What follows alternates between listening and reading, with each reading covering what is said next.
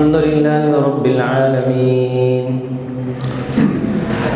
عدد خلقه ورضا نفسه وزنة عرشه ومداد كلماته. اللهم لا أحصي ثناء عليك أنت كما أثنيت على نفسك. اللهم صل وسلم وبارك على محمد النبي الأمي وعلى آله وعلى آله وسلم تسليما. آپ صلى الله عليه وسلم کی حیات طيبة آپ صلى الله عليه وسلم کا تذکرہ آپ صلی اللہ علیہ وسلم کی یاد تمام اعلیٰ برکات کے اسباب ہیں اور تمام ہی مقاصد دین اور مقاصد سے مقاصد اسلام ہیں۔ مدینہ المنورہ کی حیات طیبہ کے حوالے سے تذکرہ چل رہا ہے۔ کہ مکۃ المکرمہ کی زندگی تین مراحل میں تقسیم اور ایسے ہی مدینہ المنورہ کی زندگی بھی تین مراحل میں تقسیم۔ ایک ہجری سے لے کر چھ ہجری تک یعنی صلح حدیبیہ تک، آپ صلی اللہ علیہ وسلم کی تگ و دو مکۃ المکرمہ کی زندگی سے ملتی جلتی، ہر وقت مشقت، محنت، مشقت، آنا جانا، اور وہی تگ و دو، اور وہی مسابقہ، اور وہی مقابلہ۔ پھر چھ ہجری سے فتح مکہ، آٹھ ہجری تک آپ صلی اللہ علیہ وسلم کے وفود، کیونکہ صلح ہو جاتی ہے، سکون ہو جاتا ہے، تو پھر دوسرے ملکوں اور دوسرے بادشاہوں کے ساتھ بات چیت شروع ہوتی ہے۔ پھر فتح مکہ سے لے کر آپ صلی اللہ علیہ وسلم کا اس دنیا سے پردہ فرما جانا، وہ یدخلون فی دین اللہ افواجہ کہ اللہ جل جلالہ کے دین میں لوگ فوج در فوج داخل ہوتے ہیں۔ مدینہ المنورہ کی زندگی کو کتنے مراحل میں ہم نے تقسیم کیا؟ تین میں۔ پہلا کہاں سے کہاں تک؟ ایک سے چھ، پھر چھ سے آٹھ، پھر آٹھ سے آخر تک۔ آج کی جو ہماری گفتگو ہوگی، وہ چار ہجری سے شروع ہوگی، ہجرت کے چوتھے سال سے۔ تیسرے سال تک غزوہ احد ہو چکا ہے اور غزوہ احد کے بعد غزوہ ہمارا الاسد بھی ہو چکا ہے۔ اس کے بعد چوتھا ہجری، ہجرت کا چوتھا سال شروع ہوتا ہے۔ ہجرت کا چوتھا سال ہے۔ اس میں کافی سارے سریے اور کافی سارے غزوات ہوتے ہیں سرایہ و غزوات۔ سریہ کا میں نے آپ سے بات کی تھی کہ وہ جو ایسا لشکر آپ صلی اللہ علیہ وسلم نے بھیجا ہو، جس میں خود شریک نہ ہو، تو اس کو شریعت کی اصطلاح میں ایسا سریہ کہتے ہیں۔ اور غزوہ وہ والا ہوتا ہے، اس کو بھی جنگ کہتے ہیں، اس کو بھی جنگ کہتے ہیں، لیکن شریعت کی اصطلاح میں۔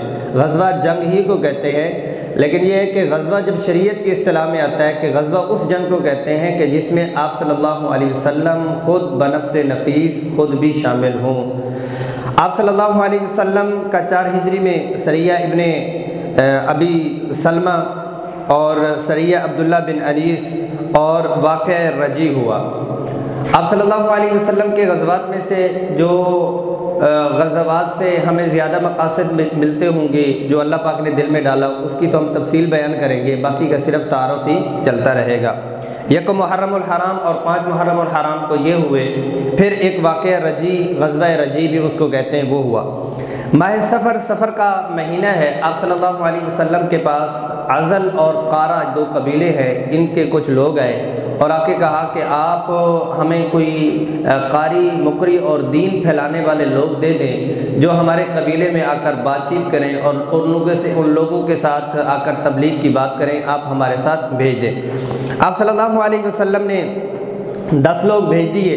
جب وہاں پر وہ پہنچے تو انہوں نے غداری کی علیہ والامان، دس میں سے سات کو شہید کر دیا اور تین لوگ ان سے بچ گئے۔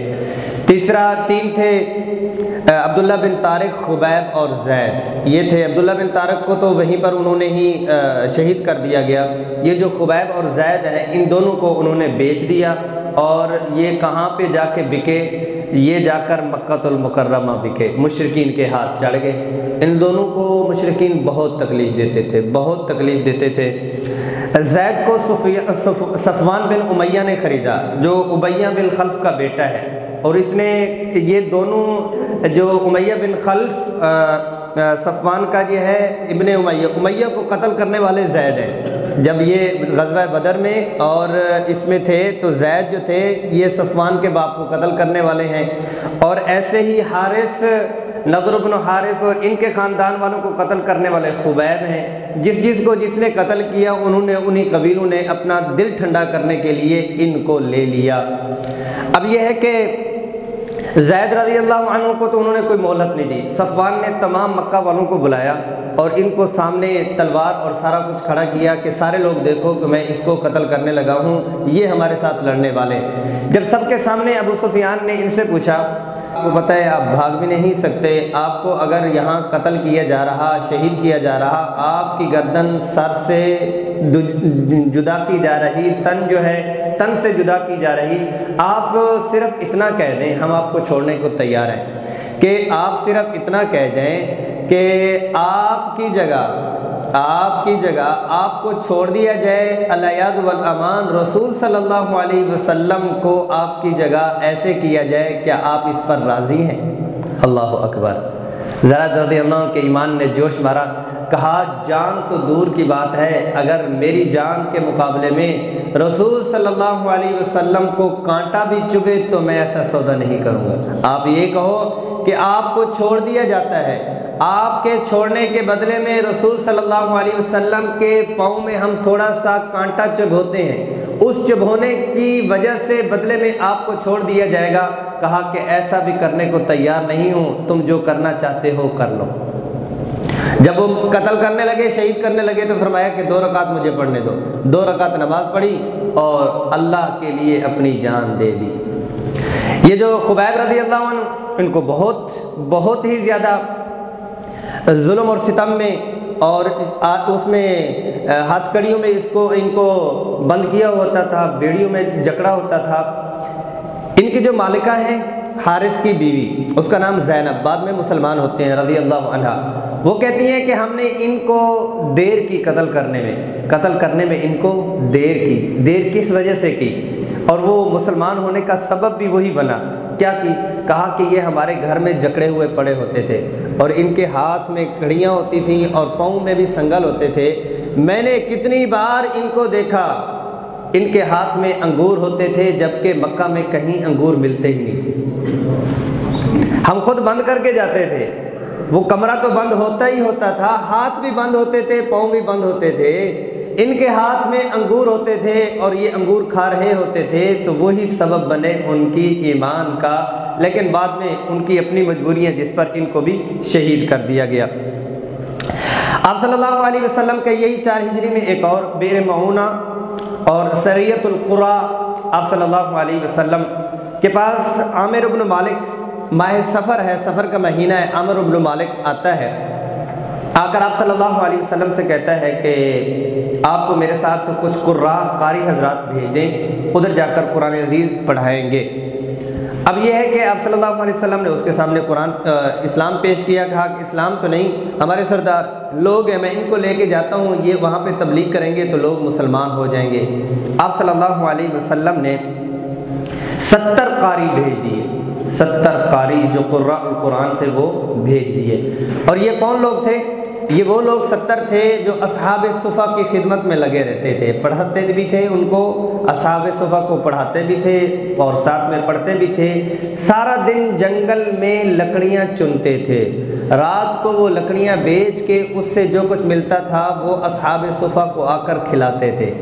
رات کا ایک حصہ ان کا تہجد میں گزرتا، ایک تلاوت میں گزرتا، ایک خدمت میں گزرتا۔ یہ ایسے نمایاں لوگ تھے۔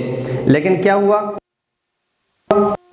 حرام بن حرام رضی اللہ عنہ کے ہاتھ میں آپ صلی اللہ علیہ وسلم نے رکا دیا اور جا کر ایک ان کے قبیلے کو قبیلے کے سردار کو جا کر یہ بات کر دینا اور ہمارا رکا دینا۔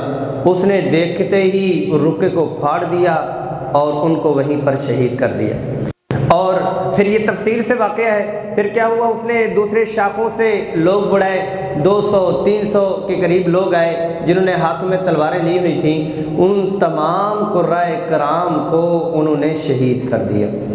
صرف دو یا تین رہ گئے۔ دو وہ جو بکریاں چرانے کے لیے یا اونٹ چرانے کے لیے نکلے تھے جنگل کے لیے، جب واپس آنے لگے تو انہوں نے دیکھا تو یہ کیا ہوا، تو اوپر سارے پرندے ہیں اور فضا جو ہے وہ بہت ہی ناگوار ہے۔ جب آ کے دیکھا تو سارے صحابہ کرام خون سے غسل کر کر شہادت کے بستر پر سوئے ہوئے تھے۔ ان میں سے ایک منظر نے کہا کہ مجھے آپ اجازت دیں۔ اور میں بھی ان ان کے قریب جا کر سو جاؤں اور شہید ہو جاؤں۔ ایک جو ہے وہ بھاگ گئے، ایک دوبارہ ان کے ساتھ لڑے اور وہیں پر شہید ہو گئے۔ اور انہوں نے وہیں پر آوازیں لگائیں کہ ہماری خبر یا اللہ رسول صلی اللہ علیہ وسلم تک پہنچا دے۔ آپ صلی اللہ علیہ وسلم تک ان کی خبر پہنچی۔ تو آپ صلی اللہ علیہ وسلم نے مدینۃ المنورہ میں ایک مہینے تک ایک مہینے تک فجر کی نماز میں قنوت نازلہ پڑی اور ان کے لیے بد دعائیں کی اور پورا مدینہ اس صدمے کے اوپر بہت ہی زیادہ نڈھال تھا کہ یہ اتنا بڑا خالص مجمع اور خالص لوگ قاری القرآن اور پھر دھوکے کے ساتھ ان کو شہید کر دیا گیا۔ ان میں ایک عامر ابن فہرا بھی تھے۔ عامر ابن فہرا یہ ابو بکر صدیق رضی اللہ عنہ کے غلام ہیں۔ یہ کے موقع کے اوپر اونٹ اونٹ کی نکیل پکڑنے والے، خدمت کرنے والے آتے آتے آتے آتے یہاں پر، یہاں تک کہ قاری بنے اور پھر یہ آگے ان کے ساتھ شامل ہوئے۔ ان کا جو سردار تھا، اس نے دیکھا کہ جب ایک آدمی ہے، ان کے بارے میں فرمایا، من رجل منہم لما قتل رأیتہ رفع بین السماء والارض ان میں سے وہ آدمی کون تھا جن کو ہم نے شہید کیا تو میں نے اپنی آنکھوں سے کے ساتھ دیکھا کہ ان کی لاش آسمان کی طرف اٹھتی ہے۔ میں دیکھتا رہتا ہوں، دیکھتا رہتا ہوں، دیکھتا رہتا ہوں، یہاں تک کہ وہ آسمان کے پردوں سے بھی اوپر چلی جاتی ہے۔ یہ کون ہے؟ جب پتہ کیا گیا تو فرمایا کہ یہ ابو بکر صدیق رضی اللہ عنہ کے غلام ہیں۔ عامر بن فہیرہ۔ اب اس موقع پر کیا آپ صلی اللہ علیہ وسلم سے پوچھا گیا، جب واقعہ سنایا تو آپ صلی اللہ علیہ وسلم نے فرمایا، ان کو فرشتوں نے اپنی لپیٹ میں اور اپنے پر وہ لے کر چلے گئے۔ اور ان کو جو شہید کرنے والے ہیں، اس سے جب پوچھا تو آپ نے کیسے کیا؟ کہا کہ جب میں نے ان کو شہید کیا تو انہوں نے کہا، فست و رب الکعبہ رب کعبہ کی قسم، میں کامیاب ہوا۔ یہ کامیابی تھی کہ آسمان تک فرشتے ان کو، ان لوگوں کی آنکھوں کے سامنے جو ہے اٹھا کے لے گئے۔ اب یہ حال ابو بکر صدیق رضی اللہ عنہ کے غلام کا ہے۔ اور ابو بکر صدیق رضی اللہ عنہ کا خود کا کیا اکرام اور احترام ہوگا؟ کہ انہوں نے ابو بکر صدیق رضی اللہ عنہ، کن کے غلام ہیں آپ صلی اللہ علیہ وسلم کے؟ اور ان کے غلام کون ہیں؟ عامر ابن فیرا غلاموں کے غلاموں کا یہ اکرام ہے، جو خود غلام ہیں، ان کا کیا اکرام ہوگا اور کیا احترام ہوگا؟ آپ صلی اللہ علیہ وسلم کا یہودیوں کے ساتھ معاہدے تھے۔ یہودیوں کے ساتھ معاہدے تھے، جو قریب تھے، بنو نذیر تھے، بنو قریضہ والے تھے، ان کے ساتھ معاہدے تھے کہ آپ کے ساتھ جنگ بندی ہے اور آپ کے ساتھ یہ یہ معاملات ہیں۔ لیکن یہ ہے کہ وہ لوگ معاہدے توڑ دیا کرتے تھے۔ بنو نذیر جو تھے وہ ایسے ہوا کہ آپ صلی اللہ علیہ وسلم کے خلاف انہوں نے سازش کی۔ سازش یہ کی کہ اپنے علماء کو ہم بلاتے ہیں، تین علماء ہوں گے ہمارے تورات کو جاننے والے، وہ آپ سے مناظر اور مباحثہ کریں گے۔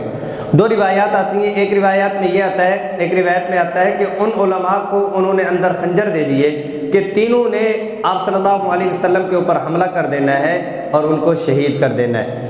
ایک دوسری روایات میں جو روایت مشہور ہے، اس میں یہ ہے کہ انہوں نے بلایا اور بلانے کے بعد انہوں نے کہا کہ ہم جب بات چیت کریں گے تو پھر ایسے ہے کہ ایک آدمی کو انہوں نے اس چیز پر معمور کر دیا کہ جب یہ نیچے بیٹھیں گے تو اوپر سے بہت بڑی چٹان کا انہوں نے اہتمام کیا ہوا تھا اور انتظام کیا ہوا تھا کہ اوپر سے ایک بہت بڑی چٹان جو ہے وہ آپ نے گرا دینی ہے۔ آپ صلی اللہ علیہ وسلم اس چٹان کے نیچے دب کر چلے جائیں گے۔ آپ صلی اللہ علیہ وسلم اسی جگہ پر بیٹھے جس جگہ انہوں نے چٹان گرانی تھی۔ جبریل امین اترے اور آ کر فرمایا کہ یہ وہ لوگ نہیں ہے، یہ آپ کو مارنا چاہتے ہیں۔ اور وہ وہیں سے ہی آپ صلی اللہ علیہ وسلم مدینہ المنورہ واپس تشریف لے آئے، ان کے قبیلوں کو چھوڑ کر۔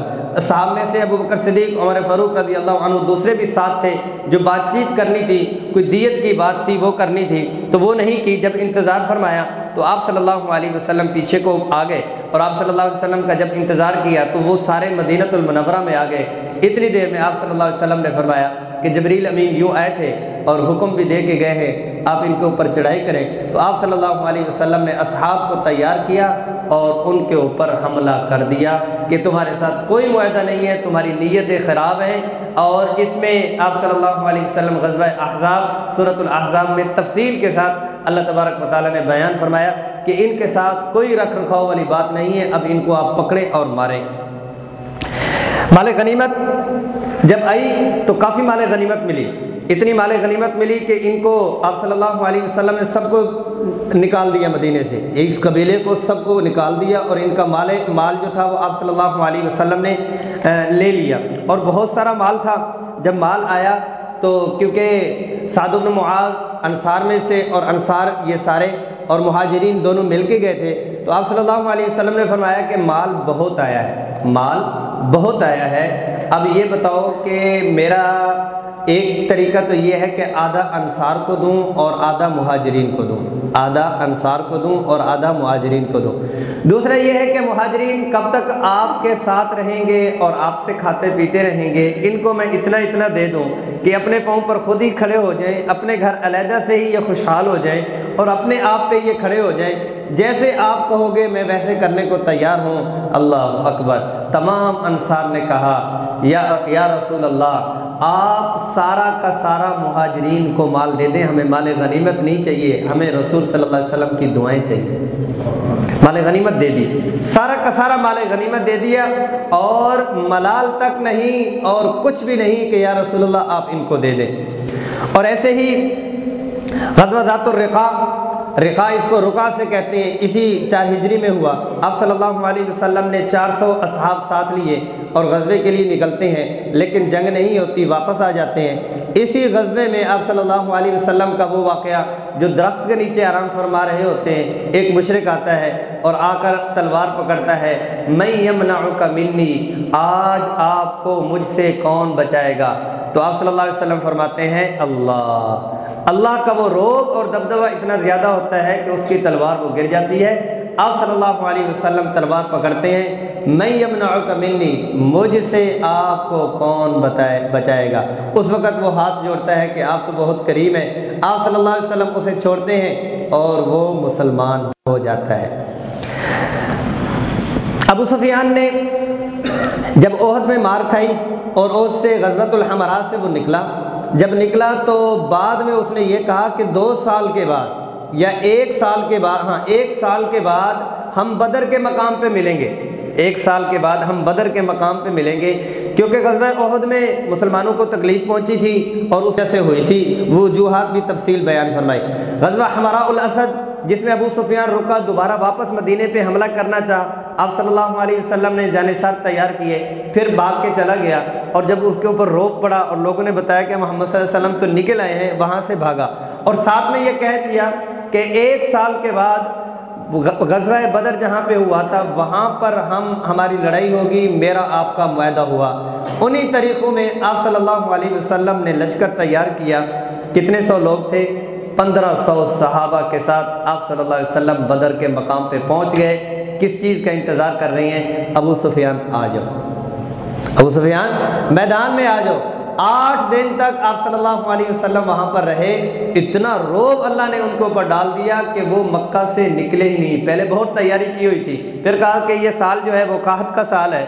اس میں کوئی ہم اس طاقت اور اس پوزیشن میں نہیں ہے تو وہاں سے نکلے نہیں۔ تو آپ صلی اللہ علیہ وسلم کو اللہ تبارک و تعالیٰ نے اس پہ بھی آیات اتاری۔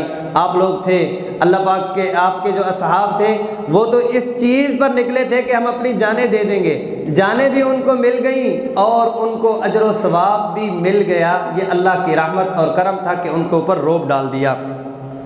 اسی سال یعنی چار ہجری کو، ہجرت کے چوتھے سال حضرت عثمان رضی اللہ عنہ، عثمان بن عفان رضی اللہ عنہ کا چھ سال کا بیٹا، جس کا نام عبداللہ تھا، اس کی بھی وفات ہوتی ہے۔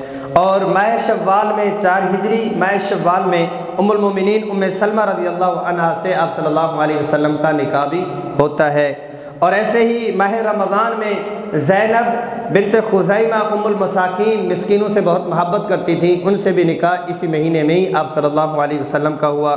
اور زید بن ثابت کو آپ صلی اللہ علیہ وسلم نے اسی سال یہ فرمایا تھا کہ یہودیوں کی زبان سیکھو یہودیوں کے اوپر کوئی اعتماد نہیں ہے، لکھنا بھی سیکھو، پکھنا، پڑھنا بھی سیکھو، عبرانی زبان، تاکہ ان کی لکھی ہوئی چیزیں یا ان کی کتابوں کی جو چیزیں ہیں وہ ہم جان سکیں۔ یہ عربی تھے۔ انہوں نے پندرہ دنوں میں یہودیوں کی تمام کی تمام لینگویج کے اوپر مہارت حاصل کی لی، صرف پندرہ دنوں میں، سارا ہی انہوں نے سیکھ لیا تھا۔ پھر ان کی ترجمانی اور ان کی جو اندر کی چیزیں تھیں وہ بتایا کرتے تھے۔ اور اسی مہینے، اسی سال یعنی ہجرت کے چوتھے سال ہی حجاب پردے کا حکم بھی نازل ہوا کہ چہرے کا پردہ، یہ بھی حضرت عمر رضی اللہ عنہ، موافقات عمر عمر رضی اللہ عنہ کی چاہت کے اوپر اللہ تبارک و تعالیٰ نے اتارا کہ چہرے کا پردہ اور عورت کا مکمل پردہ ہوا کرے گا، وہ بھی چار ہجری میں ہی ہوا۔ اب بات کرتے ہیں آگے۔ پانچ ہجری، ہجرت کے پانچویں سال کے واقعات اور احکامات۔ ہجرت کے جو پانچواں سال ہے، اس میں بھی کافی واقعات بھی ہوئے سرائیہ بھی ہوئے اور غزوات بھی ہوئے۔ اس میں غزوہ دومت الجند الماہ ربیع الاول میں ہوا اور غزہ بن المصطلق اس سے ہماری زندگی کے متعلق کافی چیزیں ملتی ہیں، اس کے اوپر بات کرتے ہیں۔ آپ صلی اللہ علیہ وسلم کو پتہ چلا حارث بن ابی ذرار یہ ایک کبیرہ بن المصطلق، اس کا سردار ہے۔ اس نے بہت بڑی فوج تیار کر رکھی ہے جو آپ صلی اللہ علیہ وسلم اور مدینہ المنورہ کے اوپر حملہ کرنے کو آ رہا ہے۔ اور آپ صلی اللہ علیہ وسلم نے برعیدہ کو رضی اللہ عنہ کو حسیب الاسلمی، ان کو بھیجا کہ جا کے جاسوسی کر کے آئیں، احوال لے کر آئیں، کیا معاملات ہیں؟ خریت بھی ہے یہ ایسا ہے یہ نہیں ہے؟ تو انہوں نے کہا، باقی ایسا ہے کہ اس نے بہت بڑی فوج تیار کر رکھی ہے اور وہ آپ کے اوپر حملہ کرنے کو ہے۔ تو آپ صلی اللہ علیہ وسلم نے فرمایا کہ وہ ہماری طرف آئے اور یہاں آ کے لڑے۔ بہتر یہ ہے کہ ہم ہی اس کی طرف نکلتے ہیں۔ تو آپ صلی اللہ علیہ وسلم خود بھی نکلے اور ازواج متحرات میں تھے۔ حضرت امی عائشہ بھی ساتھ ہوئیں اور آپ صلی اللہ علیہ وسلم نے دس تیس لوگ اپنے ساتھ لیے۔ دس مہاجرین میں سے اور بیس انصار میں سے، اور اس غزوے میں کچھ منافقین بھی ساتھ ہو لیے۔ کچھ منافقین بھی ساتھ ہو لیے۔ اللہ تبارک و تعالیٰ نے ان کی بڑی کیفیت بیان کی کہ یہ نہ ہوتا تو اچھا تھا۔ اگر یہ آپ کے ہیں، یہ تسلون لبادہ نکلے تو تھے لیکن یہ کہ پیچھے پیچھے رہتے تھے۔ اور یہ کہ اس انتظار میں رہتے تھے، دعائیں کر رہے ہوتے تھے۔ کہ یہ لڑائی نہ ہو تو اچھا بہتر ہے۔ مال غنیمت مل جائے تو بہت بہتر ہے۔ بغیر لڑائی کے کچھ ہمیں، کچھ چند پے جو ہیں وہ ہمیں مل جائیں اور چند پیسے ہمیں مل جائیں۔ آپ صلی اللہ علیہ وسلم نے ان کے اوپر جو انہوں نے فوج تیار کر رکھی تھی، ان کے اوپر حملہ کیا۔ ان کے دس لوگ قتل ہوئے، باقی سارے کے سارے بھاگ گئے۔ جب بھاگے تو ان سے کتنے؟ دو ہزار اونٹ مال غنیمت میں آئے۔ مال غنیمت میں دو ہزار اونٹ آئے۔ پانچ ہزار بکریاں مال غنیمت میں آئیں اور دو سو گھر قید ہو کر آپ صلی اللہ علیہ وسلم کے پاس آئے، اصحاب نے قید کر لیے۔ لوگ یہ کتنے ہیں؟ تیس لوگ ہیں، صرف تیس لوگ ہیں۔ اب یہ ہے کہ اس میں دو واقعے بڑے اہمیت کے آتے ہیں۔ اس کی واپسی کے اوپر جب آپ صلی اللہ علیہ وسلم واپس تشریف فرما ہو رہے تھے، تو منافقین، رئیس المنافقین بھی ساتھ تھا۔ وہ عبداللہ ابن ابئی یہ رئیس المنافقین بھی ساتھ تھا اور کچھ منافق بھی ساتھ تھے۔ ایک انصاری اور ایک مہاجر۔ چشمے کے اوپر پانی پی رہے تھے۔ تو آگے پیچھے جب ہوئے، تو ایک انصاری نے، مہاجر نے انصاری کو کہا کہ میں پہلے تو اونچ نیچ آپس میں بات ہوئی۔ انصاری نے کہا کہ انصار کو بلایا۔ اور مہاجر نے مہاجرین کو بلایا۔ آپ صلی اللہ علیہ وسلم موقع پر تشریف فرما ہوئے اور فرمایا کہ یہ جو نعرے ہیں، یہ جہلیت کے ہیں، ایسی باتیں بالکل چھوڑ دو۔ اور اللہ تبارک و تعالیٰ نے آیات بھی اس موقع پر نازل فرمائی کہ اللہ جل جلالہ نے جب تمہیں اسلام دیا، تمہارے اندر سے ہر ایک چیز اس قسم کی نکال دی۔ تم آپس میں محبت کے ساتھ القص کے ساتھ، پیار کے ساتھ رہو۔ اب یہ ہے کہ رئیس المنافقین عبداللہ بن عبی جو ادھر موجود تھا اس نے کہا تھا کہ بہر سے یہ لے کر آ گئیں گے مہاجر اور یہ خانہ بدوش لوگ تھے اور ہم نے ان کو ٹھکانہ دیا۔ مدینہ المنورہ میں جا کر ہم ان کو دیکھیں گے کہ عزت والا کون ہے اور ذلت والا کون ہے۔ اور جا کے میں مدینہ میں اعلان کروں گا کہ ان کے اوپر خرچ کرنا چھوڑ دیں، ان کو مال دینا چھوڑ دیں، ان کو کھانا دینا چھوڑ دیں، ان کو پیسہ دینا چھوڑ دیں، ان کو اپنا ٹھکانہ چھوڑ دیں، پھر ان کو پتہ چلے کہ انصار کے اوپر کیسے بات کرتے ہیں۔ تو اللہ تبارک و تعالیٰ نے اسی وقت ہی آیات اتار دی اور فرمایا ولی اللہ العزت ولی رسول ہی ولی المؤمنین اسے کہہ دیں، یہ کہتے ہیں، لَيُخْرِجَنَّ الْأَعَزُّ مِنْهَا الْأَذَلِ۔ کہ ہم آج عزت والوں میں سے ذلت والے الیاد والامان مدینہ کے اوپر سے نکال مدینہ میں سے نکال دیں گے۔ ان کو کہیں عزت تمہارے ہاتھ میں نہیں ہے۔ سب سے زیادہ عزت اللہ کے پاس، اللہ کی عزت ہے۔ رسول اللہ صلی اللہ علیہ وسلم کی ولی المومنین مومنین کی عزت ہے اور کسی کی کوئی عزت نہیں ہے۔ جہاں تک مال و متا کی ضرورت ہے تو وہ ہمارا دیا ہوا ہے، تمہارا اپنا بھی نہیں ہے۔ وہ ہماری توفیق سے سارا کچھ ہوتا ہے۔ اللہ جل جلال نے ان کو بہت ڈانٹ پلائی اور صحابہ کی یہاں پر شان بیان ہوئی۔ پھر یہ ہے کہ اسی میں ہوا اور پھر اس کے ساتھ یہ ہے کہ واقع تہمت جو حضرت عائشہ رضی اللہ عنہ کے اوپر لگائی تھی، وہ بھی اسی ہی غزوے میں ہوئی۔ ہوا یوں کہ حضرت عائشہ رضی اللہ عنہ ساتھ تھیں۔ مختلف روایات آتی ہیں۔ ایک روایت کے مطابق آتا ہے کہ حضرت عائشہ رضی اللہ عنہ کا ہار گم گیا۔ ہار کی تلاش میں آپ صلی اللہ علیہ وسلم نے آگے جو لشکر تھا، ان کو بھیج دیا۔ اور یہ ہے کہ چلنے لگے۔ حضرت عائشہ رضی اللہ عنہ ہار کی تلاش میں لگ گئی تھوڑی دیر ہو گئی۔ یعنی قضائے حاجت کے لیے نکلی تھیں، دور تھیں۔ اور یہ ہے کہ دیر ہو گئی ہار کی تلاش میں۔ جب واپس آئیں تو قافلہ جا چکا تھا۔ قافلہ کیسے جا چکا تھا؟ کیونکہ خواتین کے لیے ہودج بنایا جاتا تھا، جو کجاوا ہوتا تھا، اس کو پردے میں ہی کرتے تھے۔ پردے میں ازواج متحرات جو خواتین بیٹھ جایا کرتی تھی، ان کا ہودج وہ اٹھا کے اسی طرح ہی اونٹ کے اوپر رکھتے تھے اور پھر اونٹ چلا دیا کرتے تھے۔ اب یہ ہے کہ جو اونٹ پہ رکھنے والے احباب تھے خدمت گزار تھے، صحابہ، ان کو پتہ نہیں چلا انہوں نے وہ جیسے پردے میں تھا تو ویسے ہی خالی رکھ دیا۔ تو یہ ہے کہ وہ قافلہ جو ہے وہ چل پڑا۔ اب کیا ہوا کہ حضرت عائشہ رضی اللہ عنہ جب دور تھیں جب واپس آئیں تو قافلہ جا چکا تھا۔ انہوں نے چادر لپیٹی اور وہیں پر ہی بیٹھ گئیں۔ صفوان ابن مستہ صفوان یہ ہے، یہ پیچھے سے آ رہے تھے۔ ان کا ذمہ یہ ہوا کرتا تھا کہ پیچھے سے کوئی چیز گر جائے تو قافلے کی اٹھا کے وہ پیچھے آگے آگے چلتے رہے۔ جب وہ انہوں نے دیکھا تو کہا، انا للہ و انا الیہ راجعون۔ یہ تو امی عائشہ رضی اللہ عنہ، میری ماں اور ام المؤمنین ہیں۔ یہ کیا ہوا؟ تو انہوں نے سلام کیا۔ سلام کرنے کے بعد اپنا اونٹ سامنے کیا۔ اونٹ سامنے کرنے کے بعد کیا ہوا کہ ایک طرف ہوا۔ ہے ہمیں عائشہ رضی اللہ عنہ فرماتی ہیں، بہت ہی ادب کے ساتھ میرے پاس لے۔ اونٹ بٹھا کے ایک طرف چلے جاتے، جب میں اوپر بیٹھ جاتی تو پھر وہ ایستا ایستا چلتے، پیچھے بھی نہیں دیکھتے تھے، کیونکہ انہوں نے حضرت عائشہ رضی اللہ عنہ کو پردہ واجب اور فرض ہونے سے پہلے دیکھا ہوا تھا، تو اس لیے پہچانا تھا اور ساتھ یہ لے آئے۔ اب یہ ہے کہ مدینہ المنورہ میں جب یہ قافلہ پہنچا، پیچھے سے یہ بھی پہنچی، تو ایک مہینے تک حضرت عائشہ رضی اللہ عنہا بیمار ہو گئیں۔ اب منافقین میں سے عبداللہ ابن عبی اور یہ لوگ تھے اور انہوں نے علیہد والامان غلط نسبت ان کی طرف کر دی کہ وہ حضرت صفوان کے ساتھ اکیلا انہوں نے سفر کیا اور مدینہ المنورہ میں ایک غلط افواہ جو ہے لوگوں میں پھیل گئی۔ جبکہ حضرت عائشہ رضی اللہ عنہا کو اس کا کوئی علم تک نہیں تھا۔ بیمار تھی، روٹین کی بیماری تھی اور بیماری بڑھتی جا رہی تھی۔ اب یہ ہے کہ جب آپ صلی اللہ علیہ وسلم کا بیماری کے ایام میں جو پہلے والی رغبت تھی، وہ رغبت بھی نہیں دیکھ رہی تھی تو اس پر بھی ان کو تھوڑی سی رنجش اور تھوڑا سا ملال سا تھا۔ اب یہ ہے کہ ام مصرا ایک عورت ہیں، وہ آپ صلی حضرت عائشہ رضی اللہ عنہ کو قضاء حاجت کے لیے دور مدینے سے دور لے کے جا رہی ہیں۔ تھوڑا سا ان کو کوئی ٹھوکر لگی تو اس پر انہوں نے بات کی تو اس پر انہوں نے برا بلا کہا۔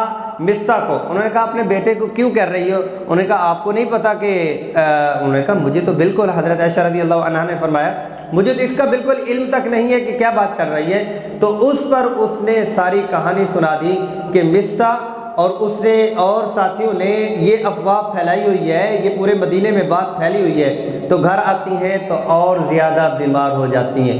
روتی ہیں اور روتی رہتی ہیں اور حضرت ابو بکر صدیق رضی اللہ عنہ کو بلاتی ہیں، ان سے بات کرتی ہیں اور اپنی اماں سے، ام رمان سے بات کرتی ہیں کہ یہ یہ بات ہوئی۔ لیکن وہ خاموش ہوتے ہیں۔ صحابہ کرام، پھر خاص طور پر ابو بکر صدیق رضی اللہ عنہ، یہ حضرات تو وہ تھے، اپنے بچوں کو آگے نہیں رکھتے تھے۔ رسول صلی اللہ علیہ وسلم کو آگے رکھتے تھے۔ حضرت علی رضی اللہ عنہ بول پڑے حضرت عمر فاروق رضی اللہ عنہ بول پڑے، آپ چاہیں، آپ اتنی تکلیف میں ہیں، آپ خاموش ہیں، آپ بتائیں، ہم آپ کو بہترین سے بہترین، خوبصورت سے خوبصورت عورت ملا کے دینے کو تیار ہیں اور یہ ہے کہ آپ ان کے ساتھ نکاح کریں تو آپ صلی اللہ علیہ وسلم خاموش ہیں۔ آپ صلی اللہ علیہ وسلم ایک مہینے تک خاموشی رہتی ہے۔ آپ صلی اللہ علیہ وسلم حضرت عائشہ رضی اللہ عنہ کے پاس آتے ہیں اور بیٹھتے ہیں۔ اتنی دیر میں ابو بکر صدیق رضی اللہ عنہ، عمر امان بھی آ جاتی ہیں۔ یہ ایک مہینہ گزر چکا ہوتا ہے۔ آپ صلی اللہ علیہ وسلم آ کر حضرت عائشہ رضی اللہ عنہ سے بات کرتے ہیں اور پورے اخلاقیات کے ساتھ بات۔ بیٹیوں کو، بہنوں کو قتل تک کر دیا جاتا ہے، شک کی بنیاد۔ آ کر کرتے ہیں کہ اگر آپ سے کوئی ایسا ویسا کام ہوا ہے تو فسط فری الا ربی کی اپنے رب سے استغفار کر لو، وہ معاف فرما دیں گے۔ تو حضرت عائشہ رضی اللہ عنہ نے جب بات سن لی تو اپنے ابا جان کی طرف اشارہ کیا۔ آپ جواب دیں۔ آپ جواب دیں تو خاموش۔ پھر اشارہ کیا، اماں کی طرف آپ جواب دیں۔ تو وہ بھی خاموش۔ اب وہ کر صدیق رضی اللہ عنہ بول نہیں رہے، صرف اتنا کہا کہ ہمارے نصبوں نے زمانہ جہلیت میں بھی ایسی نسبت کبھی نہیں سنی تھی۔ ہم میں کیا کریں؟ ہم خاموش ہیں۔ اب یہ ہے کہ ابھی ادھر بات کی، ادھر بات کی۔ حضرت عائشہ رضی اللہ عنہ بول پڑی اور بڑے جذبے کے ساتھ بولی۔ کہا کہ اگر میں سچ کہوں تو آپ لوگ یقین نہیں کرو گے۔ اگر میں جھوٹا کہہ کے کہہ دوں کہ میری توبہ تو اس پر میرا اللہ مجھے دیکھ رہا ہے، میں کبھی توبہ نہیں کروں گی۔ اس پر میں توبہ نہیں کروں گی۔ حضرت عمر فاروق رضی اللہ عنہ فرماتے ہیں کہ حضرت عائشہ رضی اللہ عنہ کے چہرے کے اوپر جو رونا تھا، اطمینان آیا۔ ابھی یہ بات چل رہی تھی کہ آثار وحی آپ صلی اللہ علیہ وسلم پہ اترنا شروع ہو گئے۔ آثار وحی ہو رہی ہیں، حضرت ابو بکر صدیق رضی اللہ عنہ بھی رو رہی ہیں، کانپ رہی ہیں۔ ماں بھی رو رہی ہیں کانپ رہی ہیں کہ وہی نازل ہو رہی ہے۔ پتہ نہیں کیا بات ہو اور کیسی بات ہو، لیکن یہ کہ حضرت عائشہ رضی اللہ عنہ اطمینان سے بیٹھی ہوئی ہیں۔ کوئی پریشانی نہیں ہے۔ ان الذين جاءوا بالافك عصبه منكم۔ دس آیات دو رکوع بنتے ہیں، حضرت عائشہ رضی اللہ عنہ کی برات میں نازل ہوئے کہ یہ سچی ہیں جن لوگوں نے بات کی ہے، ان کی سزائیں بھی آئی ہیں اور آداب بھی آئے ہیں۔ حضرت عائشہ رضی اللہ عنہ بہت اس پہ خوش ہوتی ہیں اور اللہ تبارک و تعالیٰ کا شکریہ ادا کرتی ہیں۔ فرماتی ہیں کہ اللہ جل جلالہ، مجھے اتنی کوئی امید نہیں تھی کہ میری شان میں اور میری برات میں اللہ جل جلالہ اتنا زیادہ قرآن کو اتاریں گے۔ اللہ تبارک و تعالیٰ نے حضرت عائشہ رضی اللہ عنہ کی برات خود سے دی۔ جب یوسف علیہ السلاۃ والسلام کی برات کی بات آئی فشاہد شاہد من عالیہ تو ایک بچے نے دی۔ لیکن حضرت عائشہ رضی اللہ عنہ کی جو برات تھی، وہ اللہ تبارک و تعالیٰ نے خود سے دی اور قیامت کی صبح تک کے لیے کیا بنا دیا؟ قرآن کا حصہ بنا دیا۔ اور بعض روایات میں آتا ہے کہ اسی غزبے میں، اسی غزبے میں ہی تیمم کی آیات بھی نازل ہوئیں۔ کیونکہ حضرت عائشہ رضی اللہ عنہ کا ہار مل نہیں رہا تھا۔ اب یہ ہے کہ ہار کو ڈھونڈا جا رہا اور وہاں پر جہاں پر پڑاؤ ڈالا ہوا تھا، وہاں پر پانی کا انتظام نہیں تھا۔ اب یہ ہے کہ وقت اتنا ہوا کہ نماز کا وقت ہوا اور وضو کے لیے کسی کے پاس اتنا پانی ہی نہیں تھا۔ اب اللہ تبارک و تعالیٰ کی طرف سے اعلان آ چکا کہ اے ایمان والو، جب تم نماز کی طرف جاؤ، پانی نہ پاؤ، فلم تجدو ما ان فتح سعیدا طیبا تو پھر یہ ہے کہ تیمم کر لیا کرو، تیمم کی آیات حضرت عائشہ رضی اللہ عنہ اور ابو بکر صدیق رضی اللہ عنہ کی وجہ سے نازل ہوئیں۔ صحابہ نے کہا کہ آل ابی بکر اللہ پاک آپ پر رحم فرمائے۔ آپ کی وجہ سے کتنی سہولتیں ملی۔ جب تیمم ہو گیا، نماز پڑھی، اونٹ کو کھڑا کیا تو وہ جو ہار گم ہو گیا تھا، وہ اونٹ کے نیچے پڑا ہوا تھا۔ اللہ تبارک و تعالیٰ نے کسی بہانے سے امت کو یہ سہولت دینی تھی کہ اگر پانی نہ ہو تو پھر تیمم کے ساتھ بھی تم وضو کر سکتے ہو۔ آپ صلی اللہ علیہ وسلم مدینت المنورہ میں یہ پانچ ہجری ہجرت کا پانچواں سال ہے۔ اس غزوے سے واپس آتے ہیں تو اطمینان سے ابھی تھوڑی دن ہی رہتے ہیں۔ تو پھر کیا ہے کہ ابو سفیان کی طرف سے پھر دوبارہ سے بات چیت چل پڑتی ہے۔ کیونکہ بنو نذیر کو جو مدینت المنورہ سے نکالا تھا کچھ لوگ خیبر میں چلے گئے تھے۔ کچھ لوگوں ان کے سردار اور دوسرے جو لوگ تھے، انہوں نے دہ بین سے قبیل کے ساتھ مل کر ابو سفیان کے ساتھ اپنا معاہدہ کر لیا اور کہا کہ آپ سارے اور ہم مل کر محمد صلی اللہ علیہ وسلم کے اوپر حملہ کرتے ہیں اور بہت زیادہ مجمع اور بہت زیادہ فرسان اور بہت زیادہ فوج جمع کر دی۔ دس ہزار کے قریب لوگ تیار کیے مدینہ المنورہ کے اوپر حملہ کرنے کے لیے۔ اب یہ ہے کہ بعض روایات میں آتا ہے کہ فارس اور ان کی بھی مدد لی۔ تو آپ صلی اللہ علیہ وسلم نے اصحاب کو بلایا، کہا کہ یہ اجمی لوگ بھی ہمارے ساتھ جنگ کرنے کو ہیں، ان کے جنگ کے طریقے کا ہمیں نہیں پتا۔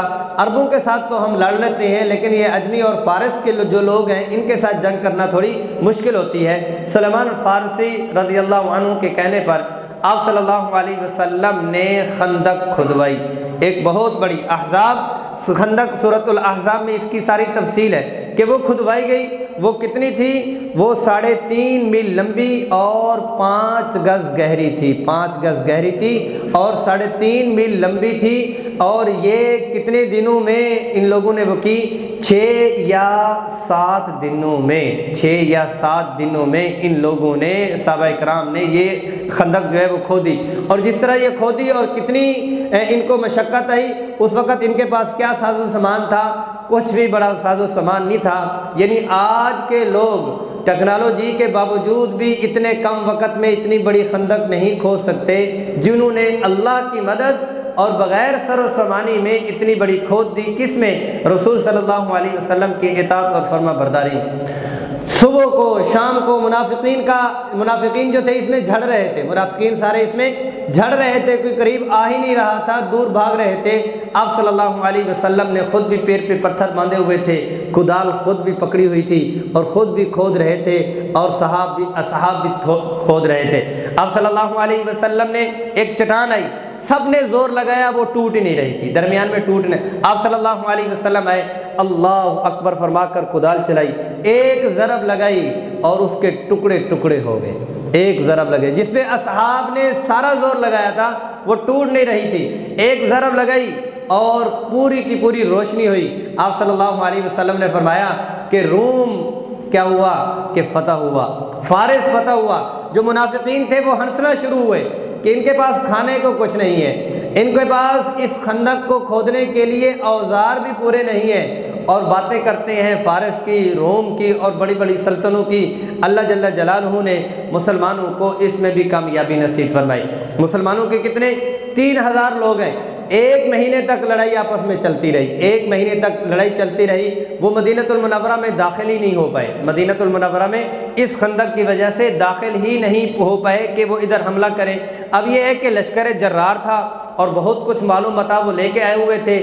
صرف قریشی نہیں تھے، بلکہ یہودی یہودی دماغ بھی پہلے ان کے ساتھ تھا اور یہودی خود بھی تھے، کیونکہ یہودی دماغ پہلے سے ہی شاطر اور پہلے سے مسلمانوں کے خلاف اور اس وقت خود جب یہودی شریک تھے تو انہوں نے کتنی شاطر دماغی کے ساتھ تیاری کی ہوگی۔ لیکن یہ ہے کہ اللہ جل جلالہ نے فرما دیا کہ جب میرا مکر اور میری تدبیر اور میری سوچ آ جاتی ہے تو پھر ان تمام کی سوچیں ختم ہو جاتی ہیں، غارت ہو جاتی ہیں۔ اللہ تبارک و تعالیٰ نے کیا فرمایا؟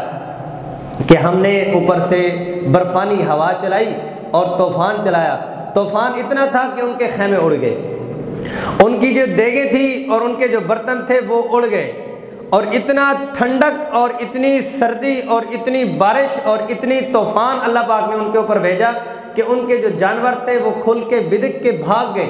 وہ سارے کے سارے اس ہوا اور طوفان کی وجہ سے سارے کے سارے وہاں سے بھاگ گئے۔ پھر اللہ جل جلالہ نے مسلمانوں کو کہا، اتنی تسلی سے کہا۔ غزوہ احزاب میں صورت الاحزاب میں اس کی بڑی تفصیل ہے۔ بہت تفصیل کے ساتھ اللہ جل جلالہ نے فرمایا، وَبَلَغَتِ الْقُلُوبُ الْحَنَاجِرِ وَتَظُنُّونَ بِاللَّهِ الظُّنُونَ۔ اس وقت کو تم یاد کرو جب تمہارے کلیجے، تمہارے سینوں تک آگئے تھے اور تم یہ سمجھ رہے تھے کہ آج ما وعد اللہ و رسول اللہ غرورا۔ منافقین نے کہا تھا بھی اللہ اور اللہ کے رسول کا جو وعدہ ہے، آج تمہیں چھوڑ کے چلے گئے ہیں اور آج تمہارے اوپر اتنے حملے ہو رہے ہیں۔ آج تم بچ نہیں پاؤ گے مدینے میں تم کچلے جاؤ گے پھر اللہ جل جلالہ نے جب ان کی نصرت فرمائی تو ساری تفصیل کے ساتھ بنایا۔ تمہاری کیفیت یہ تھی، تمہاری پوزیشن یہ تھی، تمہاری طاقت یہ تھی۔ ہم نے اپنے فرشتے بھیجے اور ان فرشتوں کے ذریعے سے اللہ جل جلالہ نے مسلمانوں کو ایک مہینے کے بعد فتح یابی نصیب فرمائی۔ ہجرت کا یہ پانچواں سال ہے، پانچ ہجری ہے۔ اور پانچ ہجری میں ابھی ایک سا ایک ماہ کی جنگ جاری رہی تھی۔ اب یہ ہے کہ ادھر سے جو معاہدہ پہلے بنو نذیر کے ساتھ بھی تھا اور بنو قریضہ کے ساتھ بھی تھا، یہ یہودی قبیلے تھے۔ اوس اور خزرج کے ساتھ ان کے اپنے جو انصار کے قبیلے، مسلمان قبیلے تھے، ان کے ساتھ ان کی دوستیاں بھی تھیں۔ اب یہ ہے کہ ان کے اندر سے معاہدے یہ ہو چکے ہوئے تھے کہ آپ مدینے سے بیر سے لڑنا اور ہم مدینے کے اندر سے ان کو لڑیں گے اور ان کے اوپر حملہ کریں گے۔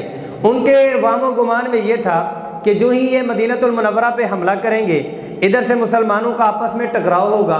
مسلمانوں کو وہ آگے سے ماریں گے، ہم پیچھے سے ماریں گے۔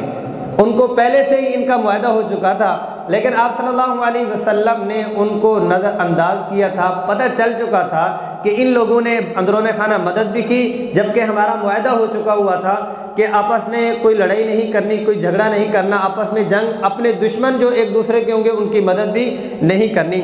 فجر کی نماز میں یہ لوگ پہنچتے ہیں۔ مدینہ المنورہ میں پہنچے۔ تو زور کی نماز میں جبریل امین آتے ہیں۔ آپ صلی اللہ علیہ وسلم سے ملاقات کرتے ہیں۔ اگر کہتے ہیں، یا رسول اللہ، آپ نے زرہ اتار دی؟ جی اتار دی۔ آپ کے اصحاب نے جو جنگ کا لباس پہنا ہوا تھا، وہ اتار دیا؟ کہ جی اتار دیا۔ کہا کہ اللہ پاک کا حکم ہے، نہ میں نے اتارا، نہ فرشتوں نے ابھی تک اتارا۔ نہ میں نے اتارا اور نہ ہی فرشتوں نے ابھی تک اتارا۔ اللہ پاک کی طرف سے اعلان ہے کہ آپ اپنے اصحاب کو لے کر جو بغل کے آستین کے جو سانپ ہیں بنو قریضہ والے یہودی، ان کے اوپر حملہ کریں اور ان کے اوپر پکڑیں۔ میں جا رہا ہوں اور میں ان کے قدموں کو جا کر تزلزل کرتا ہوں، جا کے ہلاتا ہوں، فرشتوں کو بھی لے کے جا رہا ہوں۔ آپ پیچھے سے آ جائیں۔ آپ صلی اللہ علیہ وسلم نے اعلان فرمایا۔ صحابہ نے دوبارہ سے زیریں باندھی اور بنو قریضہ یہودیوں کی بستی اور یہودیوں کے قبیل کے ارد گرد پہنچ چکے۔ ایک تو اس میں ایک پہلو تو یہ ہے وہ یہ ہے کہ اصحاب محمد صلی اللہ علیہ وسلم قربانی دینے والے پتہ نہیں کیا قوم تھی اور کیسے لوگ تھے، بیوی بچوں والے بھی تھے، گھر بھی تھے، اور ان کا سارا کچھ تھا۔ اب یہ ہے کہ صرف تبلیغ کے لیے نہیں کہ تین مہینے، چار مہینے، تین دن یا ایک دن کے لیے جا رہی ہیں۔ پتہ ہے کہ اتنی اتنی سہولیات ہیں اور اس طرح ہم واپس بھی آ جائیں گے۔ اب یہ ہے کہ غزوہ رہی ہیں اور لڑائی کتنی مشکل اور کتنی سنگین اور کیا کچھ دیکھ کے آ رہی ہیں فجر میں پہنچ رہی ہیں اللہ اکبر زور میں دوبارہ سے زیرہ باندھ کے اصحاب محمد صفوں میں کھڑے ہو جاتے ہیں۔ یا رسول اللہ، اجازت دیں۔ اور اشارہ کریں ہم چلنے کو تیار ہیں۔ آپ صلی اللہ علیہ وسلم نے ان کا گھیرا کیا۔ جب گھیرا کیا تو وہاں پر وہ ڈر گئے۔ ان کے وام و گمان میں تو یہ تھا کہ ہم پیچھے سے حملہ کریں گے۔ اب ان کو تو مدد ہو چکی ہے۔ اب ہم کیا کریں؟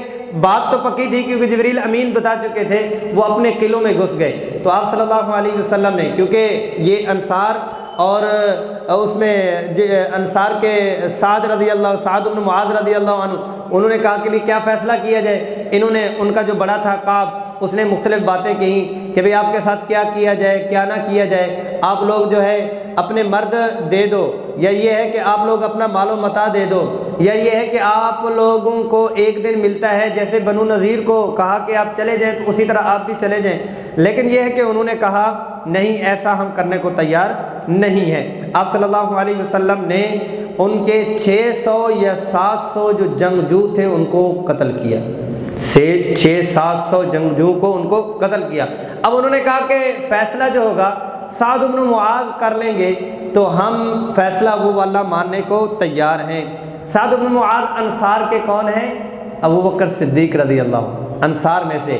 اور جو بیت عقبہ مدینت مکہ المکرمہ میں جو یہ چھ لوگ تھے اور انہوں نے جا کر بیت کی تھی، ان میں ایک کون تھے؟ سعد بن معاذ بھی تھے۔ اور نہیں نہیں عمیر رضی اللہ عنہ کے ان کے مصحب بن عمیر رضی اللہ عنہ کے کہنے کے اوپر یہ ایمان لائے۔ پھر دوسری دفعہ جب گئے تو یہ سردار بھی ساتھ تھے۔ تب سے یہ اسلام میں لگے ہوئے ہیں۔ غزوہ بدر میں بھی ان کی جانے ساری دیکھی۔ تو یہ غزوہ خندق میں زخمی ہو گئے تھے۔ آپ صلی اللہ علیہ وسلم نے ان کے لیے مسجد میں ایک حجرہ بنوایا تھا اور حجرے میں رہا کرتے تھے۔ اور جسم جو تھا، وہ خون کی وجہ سے، زخم کی وجہ سے رشتہ رہتا تھا۔ اور وہاں پر پہنچے۔ جب پہنچے تو سارے ان کے نیچے والے بیٹھے ہوئے تھے۔ ابھی یہ بیٹھے نہیں تھے۔ آپ صلی اللہ علیہ وسلم نے ان تمام کو کہا قومو الا سیدکم۔ اپنے سردار کے استقبال کے لیے سارے کھڑے ہو جاؤ۔ تو سارے ان کے استقبال کے لیے کھڑے ہو گئے۔ ان کو کہا کہ آپ جیسا فیصلہ کریں گے، یہ ماننے کو تیار ہیں۔ تو انہوں نے یہ فیصلہ کیا۔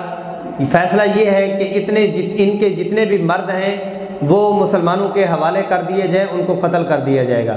عورتیں اور جو بچے ہیں، ان کو باندیاں بنا دیا جائے گا۔ اور ان کا جتنا بھی مال ہے، وہ مسلمانوں میں تقسیم کر دیا جائے گا۔ تو آپ صلی اللہ علیہ وسلم نے فرمایا، انہوں نے حق فیصلہ کیا، سچ فیصلہ کیا، فیصلہ ایسا ہی ہونا چاہیے تھا۔ سعد بن معاذ نے فیصلہ یہ کیا اور بعد میں جب واپس آئے، زخموں کی تاب نہ لاتے ہوئے اللہ کو پیارے ہو گئے۔ پانچ ہجری کو سعد بن معاذ بھی اس دنیا سے چلے جاتے ہیں۔ جب یہ فوت ہوتے ہیں تو آپ صلی اللہ علیہ وسلم ان کے بارے میں کیا فرماتے ہیں؟ آپ صلی اللہ علیہ وسلم ان کے بارے میں فرماتے ہیں کہ جب سعد بن معاذ اب فوت ہوئے ہیں، ان کے فوت ہونے پر اللہ کا عرش بھی ہل گیا۔ ان کے فوت ہونے پر اللہ کا عرش بھی ہل گیا۔ دوسرا کیا فرمایا کہ ان کے فوت ہونے پر اللہ جل جلالہ نے آسمان کے سارے دروازے کھول دیے کہ سعد بن معاذ آ رہے ہیں۔ پھر فرمایا کہ سعد بن معاذ کے جنازے کے لیے اللہ جل جلالہ نے ستر ہزار فرشتے اتارے ہیں۔ کتنے؟ ستر ہزار فرشتے اتارے ہیں۔ اصحاب کہتے ہیں، آپ صلی اللہ علیہ وسلم نے جو فرمایا، کسی اور کی موت کے اوپر عرش کا نہیں فرمایا، وہ صرف سعد بن معاذ کی موت پر فرمایا۔ کس بنیاد پہ فرمایا کہ یہ سردار ہیں، انہوں نے اپنی سرداری کس کے لیے چھوڑی؟ رسول صلی اللہ علیہ وسلم کی سرداری کے لیے چھوڑی۔ اپنی سرداری کو چھوڑ کر رسول صلی اللہ علیہ وسلم کی غلامی میں آ گئے۔ تو اللہ جل جلالہ نے ان کو دنیا میں یہ اعزاز دیا کہ ان کا اتنا استقبال ہو رہا ہے۔ انہوں نے دنیا میں کوئی ایسا بنایا نہیں۔ جو دوسرے جتنے بھی ہیں، یہودی ہیں، جو دوسرے سردار ہیں ان کی سرداری گمنڈ کی وجہ سے انہوں نے نہیں مانا اور انہوں نے اپنی سرداری کو آپ صلی اللہ علیہ وسلم کی غلامی کے اوپر فدا کر دیا اور آپ صلی اللہ علیہ وسلم کے اوپر نشاور کر دیا تو اللہ جل جلالہ نے اس لیے ان کو اتنا زیادہ عطا فرمایا۔ نبوت کا چھٹا سال، ہجرت کا چھٹا سال، چھ ہجری سریہ محمد ابن مسلمہ انصاری کا ہوتا ہے۔ آپ صلی اللہ علیہ وسلم کے غزوات اور سرایہ جو اس سال ہوتی ہیں، وہ تقریباً اٹھارہ کے قریب ہے چھ ہجری کو، ہجرت کے چھٹے سال کو جو آپ صلی اللہ علیہ وسلم کی جماعتیں نکلتی ہیں، کوئی جہاد کے لیے نکلتی ہیں، کوئی تبلیغ کے لیے نکلتی ہیں، مقاصد احیاء اسلام ہوتا ہے، اس میں تقریباً اٹھارہ کے قریب ہیں ایک سال میں جو آپ صلی اللہ علیہ وسلم کی معیت میں یا آپ صلی اللہ علیہ وسلم نے خود سے قافلے بھیجے ہیں۔ اب یہ ہے کہ سریہ محمد ابن مسلمہ الانصاری کا اس میں آپ صلی اللہ علیہ وسلم کے تیس سوار ہیں، دس قتل انہوں نے کیے۔ تو وہاں سے ڈیڑھ سو اونٹ اور تین ہزار بکریاں غنیمت میں لے کر آئے اور پھر وہ تقسیم کی گئی۔ اور ایسے ہی ان میں جب وہ گرفتار کر کے لائے، تو ان میں ان کا سردار تھا سمامہ بن اسال۔ سمامہ بن اسال ان کا سردار تھا، ان کو بھی لے کر آئے۔ جب آپ صلی اللہ علیہ وسلم کے پاس آئے تو آپ صلی اللہ علیہ وسلم نے ان کے سردار کو جو ان بستی کا سردار تھا، ان کو آپ صلی اللہ علیہ وسلم نے مسجد کے ستون کے ساتھ بندوا دیا کہ یہ مسجد کے ستون کے ساتھ مسجد کا ماحول دیکھے اور ان سے متاثر ہو کر اسلام کو قبول کرے۔ آپ صلی اللہ علیہ وسلم ایک دن آئے اور ان سے آ کر ملے اور کہا کہ کیسا محسوس کر رہے ہو؟ کیا چاہتے ہو؟ تو انہوں نے جملہ کہا کہ اگر آپ قتل کر دیں تو میں قتل ہی کا مستحق ہوں۔ اگر آپ میرے اوپر احسان کریں، ان تنعم تنعم شاکرن، تو میں شکر گزار ہوں گا، آپ شاکر ہیں، محبت کرنے والے ہیں، معاف کر دیں تو آپ کی مہربانی۔ اگر قتل کر دیں تو میں اسی کا ہی مستحق ہوں۔ اگر آپ کو مال چاہیے میرے بدلے میں، تو جتنا مال کہو گے اتنا ہی دے دوں گا۔ قوم کا سردار ہوں، بہت کچھ دے دوں گا۔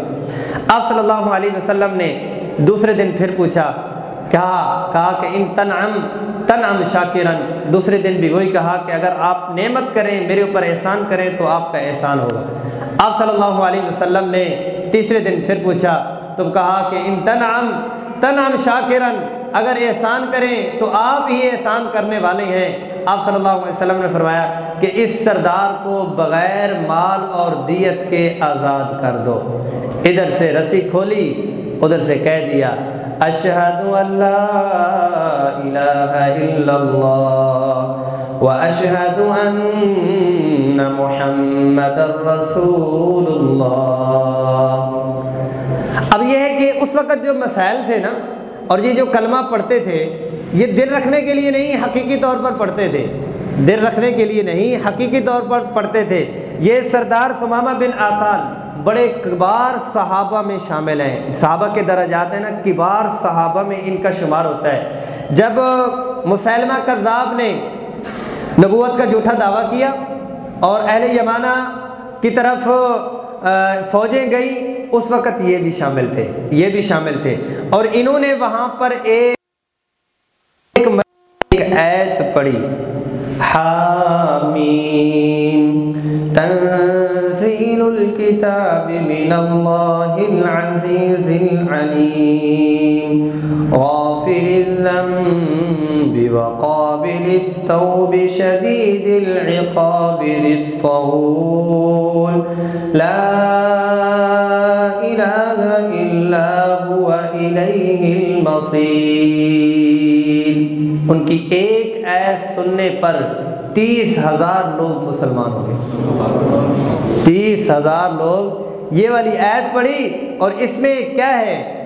ضدول عرب لوگ العزیز العلیم، غافر الذنب، گناہوں کو معاف کرنے والی ذات ہے۔ قابل التوب، توبہ کو قبول کرنے والی، بلکہ توبہ کا استقبال کرنے والی ذات اللہ کی ذات ہے۔ تم لوگ سارے کے سارے آ جاؤ۔ اور اللہ کا مقابلہ کرنا چاہو تو ذطول شدید العقاب، پکڑ پہ آئے تو کوئی چھڑوا نہیں سکتا۔ تم سب نے اسی کی طرف لوٹ کر جانا ہے۔ تو کتنے تیس ہزار لوگ مسلمان ہوئے۔ اسی میں چھ ہجری، ہجرت کے چھٹے سال اور بھی غزوات ہوئے۔ عمرۃ الحدیبیہ، صلح حدیبیہ اور حدیبیہ کا سفر بھی اسی سال ہوا۔ اب صلی اللہ علیہ وسلم نے خواب دیکھا۔ کہ اپنے اصحاب کے ساتھ عمرہ کر رہی ہیں، طواف کر رہی ہیں اور آپ صلی اللہ علیہ وسلم اپنے اصحاب کو دیکھ رہی ہیں کہ وہ طواف کے بعد اپنے سروں کو منڈوا رہی ہیں اور اپنا حلق کروا رہی ہیں۔ آپ صلی اللہ علیہ وسلم نے اصحاب کو کہا کہ میں نے ایسے خواب دیکھا اور چلتے ہیں عمرے کے لیے۔ صحابہ کو تڑپ مکہ کی بہت زیادہ تھی۔ طواف کا بڑا شوق تھا۔ چودہ سو یا سترہ سو کے قریب اصحاب تیار ہوئے کہ ہم چلتے ہیں اور جا کر طواف کریں گے، عمرہ کریں گے۔ آپ صلی اللہ علیہ وسلم کی جنگ کی کوئی نیت نہیں تھی، نہ ہی جنگ کی تیاری کی۔ عمرے کی نیت سے نکلتے ہیں اور چل پڑتے ہیں۔ آپ صلی اللہ علیہ وسلم راستے میں احرام تبدیل کرتے ہیں اور اصحاب بھی احرام تبدیل کرتے ہیں، چل پڑتے ہیں۔ اب یہ ہے کہ جب بھی آپ صلی اللہ علیہ وسلم کوئی قافلہ لے کے چلتے ہوتے تھے، جب بھی آپ صلی اللہ علیہ وسلم اپنا کوئی بھی لشکر لے کے چلتے تھے، تو مکمل تیاری کے ساتھ اور دائیں بائیں حفاظتی اقدام مکمل کر کے چلتے تھے۔ ایک صاحب کو آگے بھیج دیا اور جا کر تم جائزہ لیتے رہو کہ مکہ والے کیا کہتے ہیں، درمیان کے جو قبائل ہیں وہ کیا کہتے ہیں؟ اب بات چلتے چلتے مکہ المکرمہ میں پہنچ چکی۔ مکہ المکرمہ میں ابو سفیان اور سارے وہ تیار ہو چکے۔ انہوں نے بہت بڑا لشکر جو ہے وہ تیار کر دیا اور انہوں نے یہ سمجھا کہ یہ لوگ مکہ کے اوپر حملہ کرنے کے لیے آ رہے ہیں۔ جب پہنچے تو آپ صلی اللہ علیہ وسلم نے مکہ المکرمہ سے دور نو میل کے فاصلے پر حدیبیہ ایک کنویں کا نام ہے، وہاں پر پڑاؤ ڈالا۔ وہاں پر پڑاؤ ڈالا اور وہاں سے ایک قبیلہ ہے، اس کے سردار بدائل ان کو بتایا کہ ہم لڑنے کے لیے نہیں ہیں۔ اب مکہ المکرمہ میں جا کے بات کریں، ہم عمرہ کرنا چاہتے ہیں، صلح ہی چاہتے ہیں، عمرہ کرنے کے بعد ہم واپس آ جائیں گے۔ آپ کے ساتھ لڑائی کی کوئی نیت نہیں ہے۔ اب آپ صلی اللہ علیہ وسلم نے ان کو بات آگے پہنچانے کے لیے جب پہنچی تو یہ ہے کہ ان کی طرف سے کوئی نرمی نہیں آئی۔ انہوں نے کہا کہ نہیں، ہم لڑائی کر کے رہیں گے، ہم آگے بھی بڑھیں گے۔ آپ صلی اللہ علیہ وسلم نے وہاں پر قافلے کو روک کر عمر رضی اللہ عنہ کو کہا کہ آپ مکہ المکرمہ میں چلے جائیں ایز اے قاصد قاصد بن کے۔ ان کو بتائیں کہ بھائی ہم عمرہ کرنے آئے۔ عمر رضی اللہ عنہ مسکرا دیے کہ یا رسول اللہ، آپ کو پتہ ہی ہے کہ آپ مجھے بھیج رہے ہیں۔ آپ کو پتہ ہی ہے کہ مجھے قاصد بنا دھیمی طبیعت ہے اور نرم طبیعت ہے اور دوسری بات یہ ہے کہ عثمان رضی اللہ عنہ کے قرابت والے رشتہ دار وہاں پر ہیں اور وہ رشتہ دار خونی رشتہ دار ایک دوسرے کا خیال رکھتے ہیں جب وہ جائیں گے، اگر کوئی مسئلہ ہوگا تو ان کی قرابت والے ان کا ساتھ دیں گے اور وہ آ جائیں گے۔ عثمان رضی اللہ عنہ اندر جاتے ہیں تو ان کے رشتہ دار جو ہے وہ ان کو لے لیتے ہیں اور بات چیت اور مذاکرات بڑے آسن انداز میں کرواتے ہیں۔ تو ان کے سردار یہی کہتے ہیں کہ یہ بات محمد صلی اللہ علیہ وسلم نے بڑی اچھی کی کہ ہم عمرہ کرنے آئے ہیں۔ اگر آپ چاہتے ہیں تو ہم صلح کرنے کو بھی تیار ہیں، جنگ بندی کر لیتے ہیں۔ تو اس وقت قریش کے کچھ سرداروں نے کہا، نہیں، ہم جو ہے ان سے کے ساتھ لڑیں گے۔ لیکن کچھ سرداروں نے کہا کہ بات بالکل ٹھیک ہے۔ آپ صلی اللہ علیہ وسلم نے جو آفر کروائی ہے کتنے عرصے سے قریش اور ہم آپس میں لڑتے آ رہے ہیں۔ جنگ کی چکی نے ہم دونوں کو جو ہے آپ لوگوں کو پیس دیا ہے۔ اس سے پہلے بھی آپ لڑتے آ رہے ہو کچھ عرصے کے لیے ہم اپنی صلح کر لیتے ہیں، جنگ بندی کر لیتے ہیں۔ اس کے بعد تمہارا شوق ہوا۔ اگر تمہیں اللہ پاک دبدبا دیں تو تم کر لینا۔ لیکن یہ ہے کہ آپ کو بتا دوں، جو نصرت اور مدد اور حکومت ملنی ہے، وہ اللہ پاک نے اپنے دین ہی کو دینی ہے۔ آپ تھوڑی دیر کے لیے ہمارے ساتھ صلح کر لیں اور جنگ بندی کر لیں۔ اس پر کچھ سردار جو ہے وہ مانے اور کچھ نہیں مانے۔ ادھر کیا ہوا کہ ادھر عثمان رضی اللہ عنہ پہنچے ہیں۔ اور عثمان رضی اللہ عنہ کی خبر ادھر پہنچی ہے، اللہ یاد والامان کے مکہ والوں نے ان کو شہید کر دیا ہے۔ ادھر آپ صلی اللہ علیہ وسلم نے اصحاب کو جمع کر دیا اور کہا کہ آپ کو پتہ ہے کہ قاصد کو شہید کرنا اور یوں مارنا کسی قوم کے ہاں نہیں ہے۔ جب تک ہم عثمان رضی اللہ عنہ کا بدلہ نہیں لیں گے تب تک ہم اس جگہ سے واپس نہیں لوٹیں گے۔ ہم حملہ ان کے اوپر کریں گے۔ اب یہ ہے کہ حملے کے لیے پندرہ سو کے قریب یا چودہ سو کے قریب اصحاب ہیں۔ آپ صلی اللہ علیہ وسلم نے اپنے ہاتھ پر موت کی بیت لی کہ میرے ہاتھ پہ موت کی بیت لو۔ اور آپ صلی اللہ علیہ وسلم نے ایک بیت، تین بیتیں لی اس موقع پر۔ ایک ہاتھ پہ اپنا اور ایک بائیں ہاتھ عثمان رضی اللہ عنہ کی موت پہ کہ ان کی موت کے اوپر تمہیں یہ ہوگا۔ کہ ہم اس وقت تک یہاں سے نہیں جائیں گے جب تک کہ عثمان رضی اللہ عنہ کا بدلہ ہم نہ لے لیں کہ انہوں نے ہمارے قاصد کے ساتھ اور اتنا بڑا سرمایہ جو ہے انہوں نے ہمارا لے لیا ہے۔ لیکن یہ ہے کہ آپ صلی اللہ علیہ وسلم نے کہ اصحاب کے جذبات اور ان کا احترام ہوا۔ لقد رضی اللہ اللہ جل جلالہ ان لوگوں سے خوش ہو گئے۔ تحت شجرہ درخت کے نیچے جنہوں نے بیت کی۔ اللہ پاک نے فرمایا ان تمام لوگوں کے ہاتھ رسول صلی اللہ علیہ وسلم کے ہاتھ پر تھے۔ ید اللہ فوق ایدیہم، اور اللہ کا ہاتھ ان تمام ہاتھوں کے اوپر تھا۔ آپ صلی اللہ علیہ وسلم کے اصحاب نے کہا کہ ہم تیار ہیں، ہم تیار ہیں۔ عثمان رضی اللہ عنہ کو کہا، انہوں نے، ٹھیک ہے، ہم صلح کریں گے، لیکن یہ بات آپ کو پکی جان لینی چاہیے کہ اس سال ہم عمرہ نہیں کرنے دیں گے۔ اس سال ہم ان کو ادھر نہیں آنے دیں گے، صلح کی جو چیزیں اگلی ہوں گی وہ دیکھیں گے۔ ادھر ہم نے حرم میں ان کو کوئی نہیں آنے دینا۔ ہاں کہا کہ آپ جا رہی ہیں، آپ کو ہم اجازت دیتے ہیں۔ آپ کو تمام سرداروں نے کہا، عثمان رضی اللہ عنہ کو، آپ کو ہم اجازت دیتے ہیں۔ آپ کعبہ کا طواف کر لو اور محمد صلی اللہ علیہ وسلم کو اجازت نہیں ہے۔ تو عثمان رضی اللہ عنہ فرمایا کہ جب ان کو اجازت نہیں ہے، ان کے بغیر میں بھی طواف نہیں کر سکتا۔ نیکی بھی منظور نہیں ہے جو رسول صلی اللہ علیہ وسلم کی محبت کے بغیر ہو۔ نیکی بھی منظور نہیں ہے، عمل بھی نہیں ہے، وہ کتنا بڑا عمل ہے۔ آپ صلی اللہ علیہ وسلم کی حقیقی محبت کے ساتھ اگر جڑا ہوا نہیں ہے تو وہ بھی قبول نہیں ہے، عمل کرنے کو نہیں ہے۔ اصحاب محمد صلی اللہ علیہ وسلم نے جو آپ صلی اللہ علیہ وسلم سے محبت کا اظہار کیا، وہ اتباع سنت کے ساتھ کیا۔ وہ اتباع سنت کے ساتھ کیا۔ آپ صلی اللہ علیہ وسلم کی محبت واپس لوٹ آئے۔ عثمان رضی اللہ عنہ کی خبر جو تھی، وہ جھوٹی تھی، پہنچ چکی۔ اب ان کے عروہ بن مسعود الثقفی بہت بڑے سردار ہیں۔ اس نے کہا کہ میں جا کر بات کرتا ہوں اور جا کر محمد صلی اللہ علیہ وسلم سے بات کرتا ہوں۔ انہوں نے کہا جی آپ جائیں اور ان سے جا کر بات کریں۔ اب یہ ہے کہ یہ پہنچتے ہیں، سردار ہیں۔ آپ صلی اللہ علیہ وسلم کے پیچھے ابو بکر صدیق رضی اللہ عنہ کھڑے ہوتے ہیں اور دوسرے اصحاب بھی نکاب کیا ہوتا ہے اور یہ بھی بات چیت کر رہے ہوتے ہیں۔ اب یہ ہے کہ جب یہ مختلف روایات آتی ہیں کہ ان کے ہاتھ میں تلوار ہوتی ہے، بات کرتے ہوئے تلوار جیسے میں بات کر رہا ہوں تو قلم کے ساتھ قلم ہاتھ بھی ہل رہا ہے، قلم بھی ہل رہا ہے۔ بات کرنا شروع کرتے ہیں تو تلوار ان کی ہلنے لگتی ہے۔ تو ساتھ میں ابو بکر صدیق یا مغیرت ابن شعبہ کھڑے ہوتے ہیں۔ تو فوراً سے پہلے اوپر سے تلوار کا دستہ یوں نیچے مارتے ہیں کہ ہاتھ نیچے کرو۔ او بھائی، میں بات کر رہا ہوں، لڑ تو نہیں رہا۔ کہتے آپ لڑ نہیں رہے، بات کر رہی ہیں، لیکن یہ ہے کہ اشارہ بھی محمد صلی اللہ علیہ وسلم کی طرف نہیں کر سکتے۔ اللہ اکبر۔ ہل گئے۔ دوسری روایت میں آتا ہے کہ بات کرتے ہوئے سرداروں کی ایک وہاں کی عادت تھی، یا یہ ہے کہ لجاجت اور بات کرتے ہوئے کچھ لوگوں کی عادت ہوتی ہے، تو وہ اس نے نا ہاتھ لگایا آپ صلی اللہ علیہ وسلم کی داڑھی کو۔ بات کرتے ہوئے بھائی میری بات سنیں، آپ نے اچھا کیا۔ لوگوں میں جو ہے، وہ جب ہاتھ لگایا لگا تو اوپر سے انہوں نے ہاتھ کے اوپر تلوار ماری کہ مشرق کا نجس ہاتھ رسول صلی اللہ علیہ وسلم کی داڑھی پر نہیں لگنے دیں گے ہاتھ نیچے ہو گیا۔ اب بات چیت چلی، لمبی بات چلی۔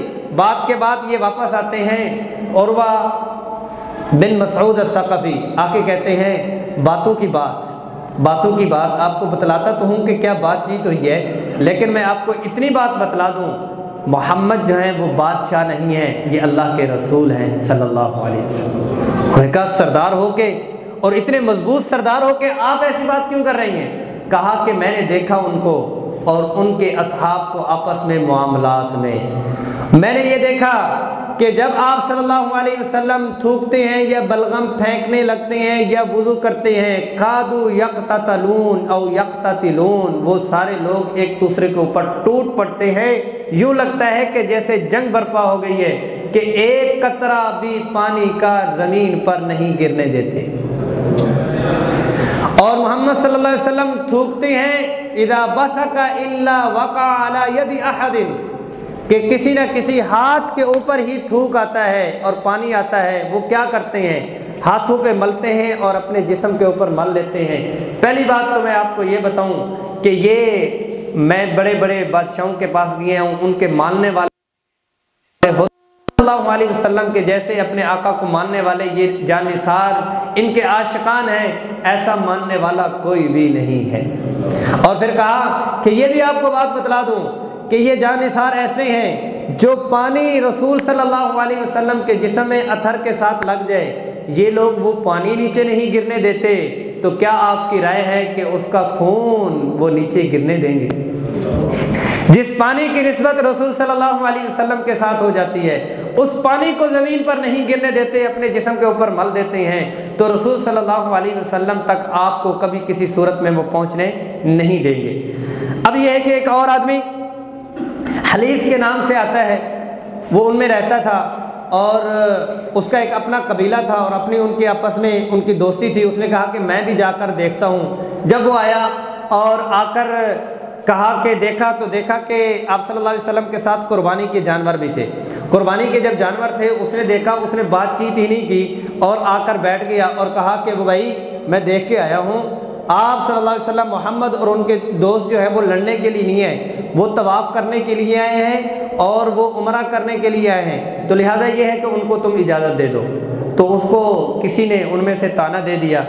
بدوی کہ تو جنگلی ہے، تجھے بات کا پتہ نہیں ہے، معاملات کا تجھے پتہ نہیں ہے، ایسے بونگیاں مارتا رہتا ہے، بیٹھ جا آرام سے۔ اس کو تانا ملا اور وہ کھڑا ہو گیا۔ اس نے کہا، تمہاری ایسی کی تیسی؟ نہیں چھوڑوں گا تمہیں، اپنے تمام قبائل تمہارے خلاف کھڑے کر دوں گا۔ کیوں؟ کہ میرا اور آپ کا معاہدہ اس چیز پر ہوا تھا، جو عمرہ کرنے کے لیے آئے گا، ہم اس کو اجازت دیں گے۔ جو لڑنے آئے گا، ہم مل کے اس کے ساتھ لڑیں گے۔ جب وہ آئے عمرہ کرنے آئے، لڑنے نہیں آئے، تو تم لوگ ان کو روکنے والے کون ہوتے ہو؟ میں تمام یہودیوں کو اور تمام قبائل کو تمہارے خلاف کھڑا کر دوں گا۔ وہ ان کے گلے میں پڑ گیا، اس کے سامنے ہاتھ جوڑے، کہا، ایک منٹ بیٹھ لو بیٹھو، ہم مشورہ کرتے ہیں، مشاورت مزید ہماری چل رہی ہے۔ جو بات چیت ہوئی، وہ کر لیں گے، اس کو بہت مشکل سے انہوں نے ٹھنڈا کیا۔ اب یہ ہے کہ سہیل آئے اور انہوں نے آپ صلی اللہ علیہ وسلم کے ان کے سردار سے انہوں نے آ کر بات کی۔ آپ صلی اللہ علیہ وسلم نے فرمایا، کون ہے؟ کہا، سہیل۔ سہیل کا معنی ہوتا ہے آسان اور ایزی آسان۔ آپ صلی اللہ علیہ وسلم نے فرمایا، اب معاملات جو ہے وہ آسان ہو جائیں گے۔ اب یہ ہے کہ بات چیت آپس میں معاہدہ شروع ہوا کہ ہم آپس میں معاہدہ کر لیتے ہیں۔ اب عربوں میں سے بھی اور آپ صلی اللہ علیہ وسلم میں سے بھی اصحاب کھڑے ہوئے اور ادھر سے بھی کھڑے ہوئے بات چیت لکھنا شروع کی۔ آپ صلی اللہ علیہ وسلم نے حضرت علی رضی اللہ عنہ سے فرمایا، لکھو بسم اللہ الرحمن الرحیم، معاہدہ لکھا جا رہا۔ تو سہیل کہتے ہیں کہ آپ کو پتہ ہے، ہم بسم کا اللہم لکھتے ہوتے ہیں بسم اللہ الرحمن الرحیم نہیں لکھتے ہوتے، پہلے سے لکھتے آ رہے الرحمن الرحیم ہم نہیں لکھیں گے۔ مشرقین کو الرحمن لفظ سے بہت زیادہ چڑ تھی۔ آپ صلی اللہ تبارک و تعالیٰ کی جو رحمت والی پہلو تھا، یہ وہ ان کو بہت ہی زیادہ چڑھتی الرحمن الرحیم نہیں لکھتے تھے۔ اور ومر رحمان کہتے تھے، من رحمان نہیں کہتے تھے، کیونکہ من عقل کے لیے استعمال ہوتا ہے اور ما جو ہے غیر عقل کے لیے استعمال ہوتا ہے۔ ومر رحمان، من رحمان نہیں کہتے تھے، کیوں؟ کہ مشرقین کو عرب تھے، ان کو اتنا پتہ تھا۔ الرحمن میں جو معنی ہے، اگر ہم اللہ کو الرحمن مان لیتے ہیں، تو رحمتیں ساری اللہ کی ہیں، اللہ کے علاوہ کسی اور کے پاس رحمتیں ہیں ہی نہیں۔ الرحمن الرحیم، اس لیے نہیں لکھا۔ آپ صلی اللہ علیہ وسلم نے فرمایا، ٹھیک ہے، بسم کا اللہ ہی لکھو۔ پھر لکھا ہے کہ یہ معاہدہ ان فریق اور اس فریق کے درمیان کیا جا رہا ہے۔ مکہ کے فریق کا نام لکھا اور بین محمد رسول اللہ صلی اللہ علیہ وسلم۔ تو سہیل نے کہا، لڑائی اسی چیز کی ہے، ہم رسول اللہ آپ کو نہیں مانتے، آپ ہم سے رسول اللہ بھی ساتھ میں لکھوا رہی ہیں۔ ہم رسول اللہ نہیں مانتے، خالی محمد لکھنا پڑے گا۔ حضرت علی رضی اللہ عنہ سے آپ صلی اللہ علیہ وسلم نے فرمایا کہ یہ رسول اللہ مٹا دو۔ فرمایا، یا رسول اللہ، یہ نہیں ہو سکتا۔ یہ نہیں ہو سکتا۔ آپ صلی اللہ علیہ وسلم امی ہیں۔ امی کا کیا مطلب؟ ماں والا۔ ام کہتے ہیں ماں کو۔ النبی الامی النبی الامی امی ہے ماں والا۔ ماں والا بچہ وہ ہوتا ہے جو چھوٹا ماں کے ساتھ جب تک جڑا رہتا ہے، تب تک وہ بول نہیں سکتا، لکھ نہیں سکتا، پڑھ نہیں سکتا۔ یعنی وہ کسی سے سیکھا ہوا نہیں ہوتا۔ النبی الامی ماں والے آپ صلی اللہ علیہ وسلم پڑھے ہوئے نہیں تھے۔ لیکن اللہ پاک کسی انسان سے پڑھے ہوئے نہیں تھے۔ النبی الامی جو تھے، آپ صلی اللہ علیہ وسلم کو پڑھنا اور لکھنا کسی بھی آدمی نے نہیں سکھایا۔ برائے اللہ علیہ سے پوچھا، بتائے کہاں پہ لکھا ہوا ہے؟ تو انہوں نے فرمایا کہ یہ ہے رسول اللہ، آپ صلی اللہ علیہ وسلم نے خود سے مٹا دیا۔ ان کی صلح کی شرائط کافی ساری لکھی جاتی ہیں۔ ایک یہ ہوتی ہے کہ دس سال تک آپس میں لڑائی نہیں ہوگی۔ ٹھیک ہو گیا۔ دوسرا یہ ہے کہ قریش کے لوگ اپنے سرپرست کی اجازت سے مسلمان ہوں گے۔ سرپرست کی اجازت کے بغیر مسلمان نہیں ہوں گے۔ اس پر بھی دستخط کر دی۔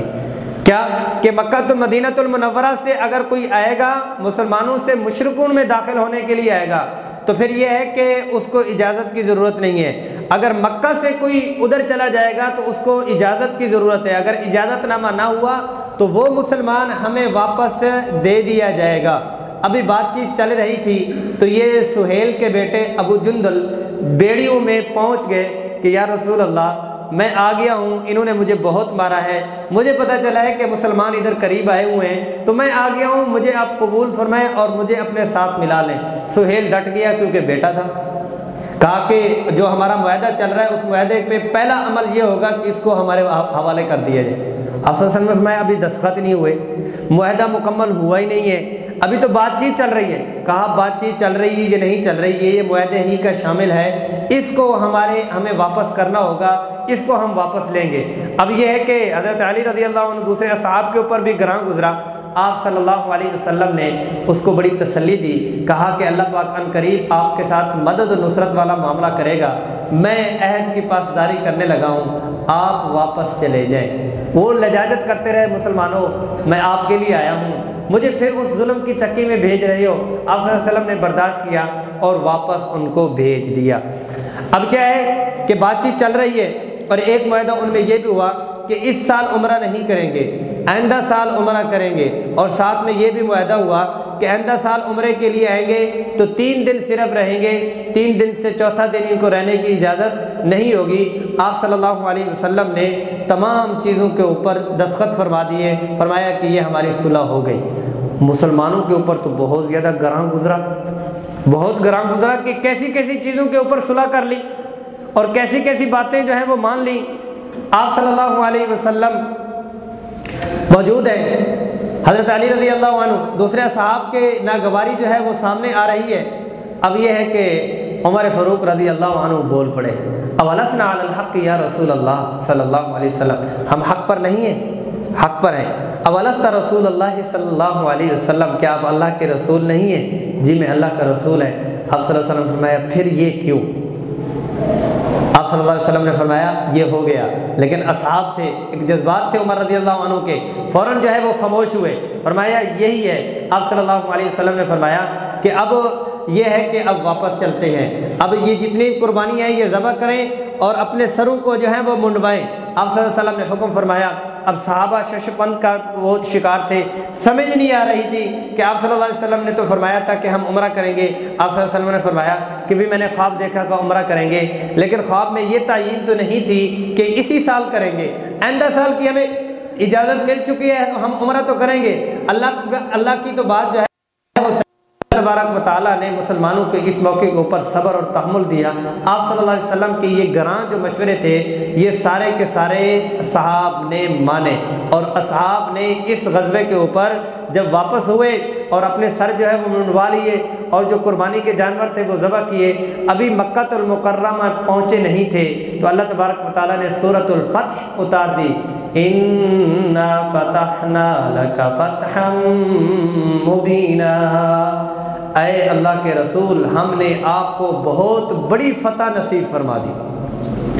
کہ نظر آنے میں شکستیں واپس آ رہی ہیں، ان کی بہت ساری مان کے آ رہی ہیں۔ لیکن یہ ہے کہ اصحاب نے کہا کہ ہم نے آپ صلی اللہ علیہ وسلم کی مانی اور ہم نے دیکھا کہ فتح مبینہ ہی تھا۔ کیا تھا؟ کہ اس کے علاوہ پہلے تو یہ تھا کہ سارا وقت اس چیز پر نکلتا، لگتا تھا کہ ان کے خلاف جنگ نکل رہی ہے۔ آج ان کے خلاف غزوہ نکل رہا ہے، آج ان کے خلاف یہ ہے کہ قافلہ نکل رہا ہے، اب یہ ہے کہ لشکر نکل رہا ہے۔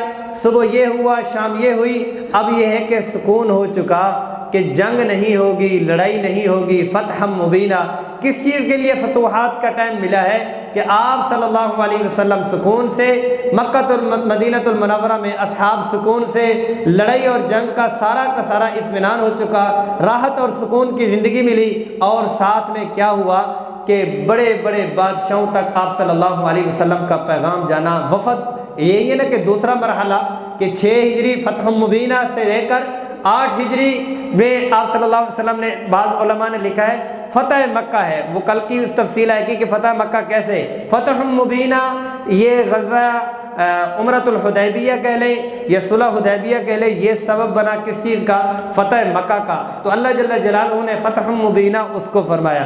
اسی غزوے میں ایسے ہوا، آپ صلی اللہ علیہ وسلم کے پاس ایک صحابی ہے یا رسول اللہ، ہمارا جتنا پانی تھا وہ ختم ہو چکا۔ ہمارا جتنا پانی تھا وہ ختم ہو چکا۔ اور پانی پینے کو نہیں ہے۔ جانوروں کے پاس بھی پانی نہیں ہے اور انسانوں کے پاس بھی پانی نہیں ہے۔ آپ صلی اللہ علیہ وسلم نے فرمایا، پانی کتنا ہے؟ فرمایا کہ ایک ڈول میں ہے یا ایک کولے میں ہے، ایک چھوٹے سے برتن میں ہے۔ آپ صلی اللہ علیہ وسلم نے وہ پانی منگوا لیا اور سامنے رکھا۔ آپ صلی اللہ علیہ وسلم نے اپنا ہاتھ مبارک اس پانی میں ڈالا۔ تو اللہ جل جلالہ نے ہر انگلی میں سے پانی کے چشمے جاری فرما دی پندرہ سو لوگ تمام جانوروں نے وہ پانی پیا۔ اللہ جل جلالہ نے اس قسم کے معجزات بھی اصحاب محمد صلی اللہ علیہ وسلم کو دکھلائے۔ یقیناً ایسا ہی ہے کہ آپ صلی اللہ علیہ وسلم کو اللہ تبارک و تعالیٰ نے بہت مبارک بنایا۔ جو جو نسبت آپ صلی اللہ علیہ وسلم کے ساتھ ہو جاتی ہے، انسان فی ذاتی ہی کچھ نہیں ہے۔ اس میں اپنی صفات اگر وہ اپنی نسبت کو آپ صلی اللہ علیہ وسلم کے ساتھ حقیقی طور پر جوڑ لیتا ہے اللہ جل جلالہ دنیا میں دکھاتے اللہ جل جلالہ دنیا میں دکھاتے ہیں۔ دو اینٹیں ہیں، ایک ہی فیکٹری میں بنتی ہیں۔ ایک ہی دکان سے خریدی جاتی ہیں۔ ایک ہی رقشے پر بلڈنگ میں آتی ہیں۔ ایک اینٹ محراب میں لگتی ہے اور ایک اینٹ واش روم میں لگتی ہے۔ نسبتیں دونوں کی تبدیل ہو جاتی ہیں۔ ایک پہ پاؤں لگتے ہیں اور ایک کو سجدہ کیا جاتا ہے۔ انسان ہے سارے، مسلمان ہیں سارے، لیکن اپنے جذبات رسول صلی اللہ علیہ وسلم کے اوپر ہم نشاور کر دیں گے، اپنے جذبات کو آپ صلی اللہ علیہ وسلم کے اوپر قربان کر دیں گے۔ تو پھر کیا ہوگا کہ اللہ تبارک و تعالیٰ کی طرف سے مزدیں اور نصرتیں ہوں گی۔ اس مضمون کو مزید میں آگے پورا کرتا ہوں۔ ابو بصیر وہیں پر تھے ایک اور مکہ المکرمہ سے مسلمان ہوئے، ان کا نام تھا ابو البصیر۔ وہ مدینہ المنورہ پہنچ گئے۔ جب مدینہ المنورہ پہنچے یا رسول اللہ، میں پہنچ گیا، بڑی مشکل سے یہاں پر پہنچ گیا۔ تو پیچھے سے دو آدمی قریشیوں نے بھیج دیے، رکا لکھ کے، جو آپ کا ہمارا معاہدہ ہوا تھا، اس کے مطابق ابو بصیر ہمارے حوالے کرو۔ ابو بصیر کو کہا کہ آپ چلیں۔ وہ روئے بھاگے کہا میں نہیں جاتا۔ میں تو بہت مشکل سے مشرقین سے چھوٹ کے آیا ہوں، لیکن آپ صلی اللہ علیہ وسلم نے فرمایا کہ ابو بصیر، میرا معاہدہ ہوا ہے، آپ کو جانا پڑے گا۔ اللہ اکبر۔ وہ جو ایمان لے آتے تھے، اب ابو جندل کا واقعہ آپ کے سامنے، ان کو پتہ ہے، واپس آ رہے ہیں۔ کبھی وہ سوچ بھی نہیں سکتے کہ میں ایمان لایا ہوں اور مجھے اس حالت میں دوبارہ چکی میں بھیجا جا رہا ہے، میں ایمان نہیں لاتا۔ اللہ اکبر۔ جس کے دل میں ایک دفعہ ایمان چلا جاتا تھا وہ راسخ ہو جاتا تھا۔ ابو البصیر ایمان لے کے آئے ہیں، ماحول میں زیادہ نہیں رہے۔ خود سے مکہ المکرمہ سے ایمان لے کے آئے ہیں مدینت المنورہ میں پہنچتے ہیں۔ دو لوگوں کے ساتھ ان کو واپس بھیج دیا جاتا ہے، آپ واپس چلے جائیں، لیکن اپنے ایمان پر پھر بھی ڈٹے رہتے۔ راستے میں وہ دو لوگ ایک باغ میں رکتے ہیں یہ بھی رکتے ہیں، باغ کھاتے ہیں، باغ میں سے پھول اور چیزیں اور پھل کھاتے ہیں۔ تو ابو البصیر ان کو کہتے ہیں کو کہ آپ کی تلوار بڑی بہترین ہے آپ کی چال بھی بڑی زبردست ہے۔ آپ کاٹتے ہوں گے تو زبردست کاٹتے ہوں گے۔ وہ اس کو تھوڑی سی اس کی جو وہ تھی، تعریف تھی، وہ ہضم نہیں ہوئی۔ کہا کہ ادھر سے اندر سے تلوار نکالی۔ کہتے یہ دیکھو کتنی چمک ہے۔ میں یوں وار کرتا ہوں اور اڑاتا ہوں، اس کی بڑی پاور ہے یہ وہ۔ کہتے واقعی آپ ٹھیک کہتے ہیں، زبردست کہتے ہیں۔ مجھے دکھائیے گا۔ کیسی ہے؟ اس نے دکھائی، ابھی اپنی ہاتھ میں پوری پکڑی ہی تھی، دے مارا اور اس کے دو ٹکڑے کر دیے۔ اس کے دو ٹکڑے کر دیے اور پھر کیا ہوا؟ دو ٹکڑے کرنے کے بعد وہ جو دوسرا تھا وہ بھاگا ہوا، مکے نہیں گیا۔ اللہ اکبر، دشمن ہے، مشرق ہے۔ اسے بھی پتہ ہے کہ مجھے پناہ ملے گی تو مدینے میں رسول صلی اللہ علیہ وسلم کے پاس ملے گی۔ وہاں سے بھاگتا ہوا آیا۔ رسول صلی اللہ علیہ وسلم کے پاس ابو البصیر نے تو ہمارا یہ کر دیا۔ ابو البصیر آپ صلی اللہ علیہ وسلم کے پاس ہے۔ یا رسول اللہ، آپ نے اپنا معاہدہ پورا کیا اور میں نے اپنا کام پورا کیا۔ اور پھر اگلا کام میں یہ پورا کرنے لگا ہوں کہ میں مکہ نہیں جاؤں گا اور مدینہ بھی نہیں رہوں گا۔ کیوں؟ کہ مدینہ آپ کے ساتھ معاہدہ ہے کہ جو مدینہ آئے گا، اس کو واپس کریں گے۔ وہ سہل مدینہ کے اوپر، جہاں پر قریش کے قافلے آیا کرتے تھے، وہاں چلے گئے۔ اب ایک نیا شہر وہاں پہ ادا ہوا وہ ہوگا، آباد ہوا۔ کیا ہوا؟ کہ مکہ المکرمہ والوں کو پتہ چلا کہ جو کوئی مسلمان ہوتا ہے، وہ مدینے نہیں جاتا، وہ ابو البصیر کے پاس جاتا ہے۔ ستر کے قریب وہاں پہ ہوئے اور سارے تھے جنگجو۔ انہوں نے قریشیوں کی زندگی اجیرن کر دی۔ کوئی قافلہ ادھر سے گزرنے نہیں دیتے تھے۔ اور یہ ہے کہ وہ ادھر سے ان کے اوپر حملے کرتے تھے، حتیٰ کہ انہوں نے خود سے خط لکھا مدینہ المنورہ میں۔ ہماری یہ والی جو شک ہے کہ جو یہاں سے آئے گا وہ مدینہ المنورہ آ کے واپس آئے گا۔ ہم واپس لیتے ہیں۔ جو یہاں سے مسلمان ہو کے جائے، وہ مدینہ المنورہ ہی میں چلا جائے۔ ورنہ ابو البصیر کے پاس چلا گیا تو انہوں نے ہماری زندگی اجیرن کر دینی ہے۔ تو میرے بھائیوں یہ پانچ ہجری کے جو واقعات، چھ ہجری کے جو واقعات تھے، یہ آپ کے سامنے آئے ہیں۔ جیسے پہلے بھی عرض کی ہے کہ سیرت بہت لمبی ہے اور اس کے انداز بھی اور عشقیہ پہلو بھی بہت زیادہ ہے۔ مقصود کہنے کا یہ ہے کہ آپ صلی اللہ علیہ وسلم کی محبت اور اس درجے کی محبت کے ہم اطاعت کے اوپر کھڑے ہو جائیں۔ آج ہم کل جو جس وجہ سے ہم نے چھٹی کی، وہ کس وجہ سے کی؟ حاجی عبد الوہاب رحمۃ اللہ علیہ۔ انہوں نے ساری زندگی کس چیز پہ ان کی موت جو ہے وہ دکھلا کے چلی گئی۔ پنڈال جہاں پر پچیس لاکھ اور تیس لاکھ اور پچاس لاکھ کا مجمع جس پنڈال میں آتا ہے، وہ سارا پنڈال بھر گیا۔ سارا پنڈال بھر گیا۔ جتنے لوگ پنڈال میں تھے، اس سے ڈبل لوگ جنازے سے رہ گئے۔ اس سے ڈبل لوگ جنازے سے رہ گئے۔ موٹر وے اور موٹر وے پہ کبھی نہیں، ہم بھی موٹر وے سے گئے۔ ہم نے کہا کہ اندر کا راستہ بند ہوگا۔ پندرہ کلو میٹر تک موٹر وے کی بائکنیں جو تھیں پوری کی پوری لائنیں بنی ہوئی تھیں اور راستہ سارا بند ہو گیا تھا۔ لاہور سے ریون روڈ مکمل جو تھا، وہ گاڑیوں سے بھرا ہوا تھا۔ آگے راستہ ہی نہیں ہے۔ کیسے یوں کہہ لیں کہ ریونڈ پنڈال سے لے کر آپ کا موٹر وے پریاں جا ہی نہیں سکتی۔ اتنے لوگ اتنے لوگ اللہ جل جلالہ نے اپنا وہ کیا تھے، صبح و شام اللہ کو بولتے تھے۔ اللہ سے ہوتا ہے، اللہ کے غیر سے نہیں ہوتا۔ رسول صلی اللہ علیہ وسلم کی زندگی میں دونوں جہانوں کی کامیابی کا یقین اور امت سے اتنا کھپے اتنا کھپے، اتنا تھکے اور اپنے آپ کو تھکایا، اللہ جل جلالہ نے دنیا میں ہی دکھلا دیا۔ امام احمد بن حمر رحمہ اللہ فرمایا کرتے تھے کہ ہمارے جنازے بتائیں گے کون حق پر ہے۔ اللہ جل جلالہ دکھا کہ جو دیندار ہیں، جو اللہ والے ہیں، جو اللہ پر مر مٹنے والے ہیں، وہی ہمیشہ انتم الاعلون ان کنتم مومنین۔ یقیناً ان کی زندگی بھی اور ان کی اس دنیا سے جو موت ہے، موت انعام کے لیے ہوتی ہے۔ الموت تحفت المومن۔ موت مومن کے لیے گفٹ ہے۔ وہی تو ذریعہ ہے اللہ پاک سے گفٹ اور تحفہ لینے کا۔ وہی تو ذریعہ ہے۔ اللہ پاک نے کیا استقبال کیا ہوگا؟ رسول صلی اللہ علیہ وسلم نے کیا استقبال کیا ہوگا؟ زندگی ایک دفعہ ملی ہے۔ رسول صلی اللہ علیہ وسلم کے طریقے کے مطابق چل کے چلے جائیں، کر کے چلے جائیں تو بہت ہی بہتر ہوگا۔ آج کی جو ہماری صفت ہے، وہ دروشریف ہی کر لیتے ہیں۔ دروشریف ہی کر لیتے ہیں۔ ابھی بھی پڑھے جتنا زیادہ ہو سکے، جتنا سارا دن ہم نے دروشریف پڑھنا ہے۔ لب، دروشریف کے کیا فضائل ہیں؟ اللہ وقت ایک دفعہ پڑھا، صلی اللہ علیہ وسلم۔ آپ بھی میرے ساتھ پڑھیں۔ آپ صلی اللہ علیہ وسلم کے پاس اللہ کی قسم یہ پہنچ گیا۔ دیر بھی نہیں لگی۔ ایک بندہ سو دفعہ دروشریف پڑھتا ہے۔ یہ نہیں ہے کہ فرشتہ انتظار میں رہتا ہے کہ یہ سو مکمل کرے، پھر میں اس کو ایک بنڈل میں یا ایک گفٹ میں پیک کر کے لے جاؤں۔ نہیں، سو دفعہ ایک پڑا فرشتہ لے کے گیا، دوسرا پڑا دوسرا، تیسرا پڑا تیسرا۔ کیا ہی خوش قسمت وہ بزرگ اللہ والے کہ جو یہاں بیٹھتے ہیں المین مسجد میں اور مدینے تک فرشتوں کی لینے لگا دیتے۔ اور ایک ایک فرشتے کو جو موقع ملتا ہے، اس کی زندگی میں ایک مرتبہ ہی ملتا ہے۔ دوبارہ باری نہیں آتی۔ دوبارہ ان کی باری نہیں آتی۔ جتنی عبادات ہیں، ان میں سے یہ ایک عبادت درو شریف ہے، جو پڑھو ضرور قبول ہوتی ہے۔ جو پڑھو ضرور قبول ہوتی ہے۔ آپ صلی اللہ علیہ وسلم کی محبت ملتی ہے، دل نرم ہوتا ہے۔ اور ساتھ میں ہمارے نوجوان لوگ جو ہیں، یونیورسٹیز کے اور غیر شادی شدہ، کبھی دیں کبھی میں کبھی موبائل، کبھی گاڑی اور کبھی اور یہ اور وہ۔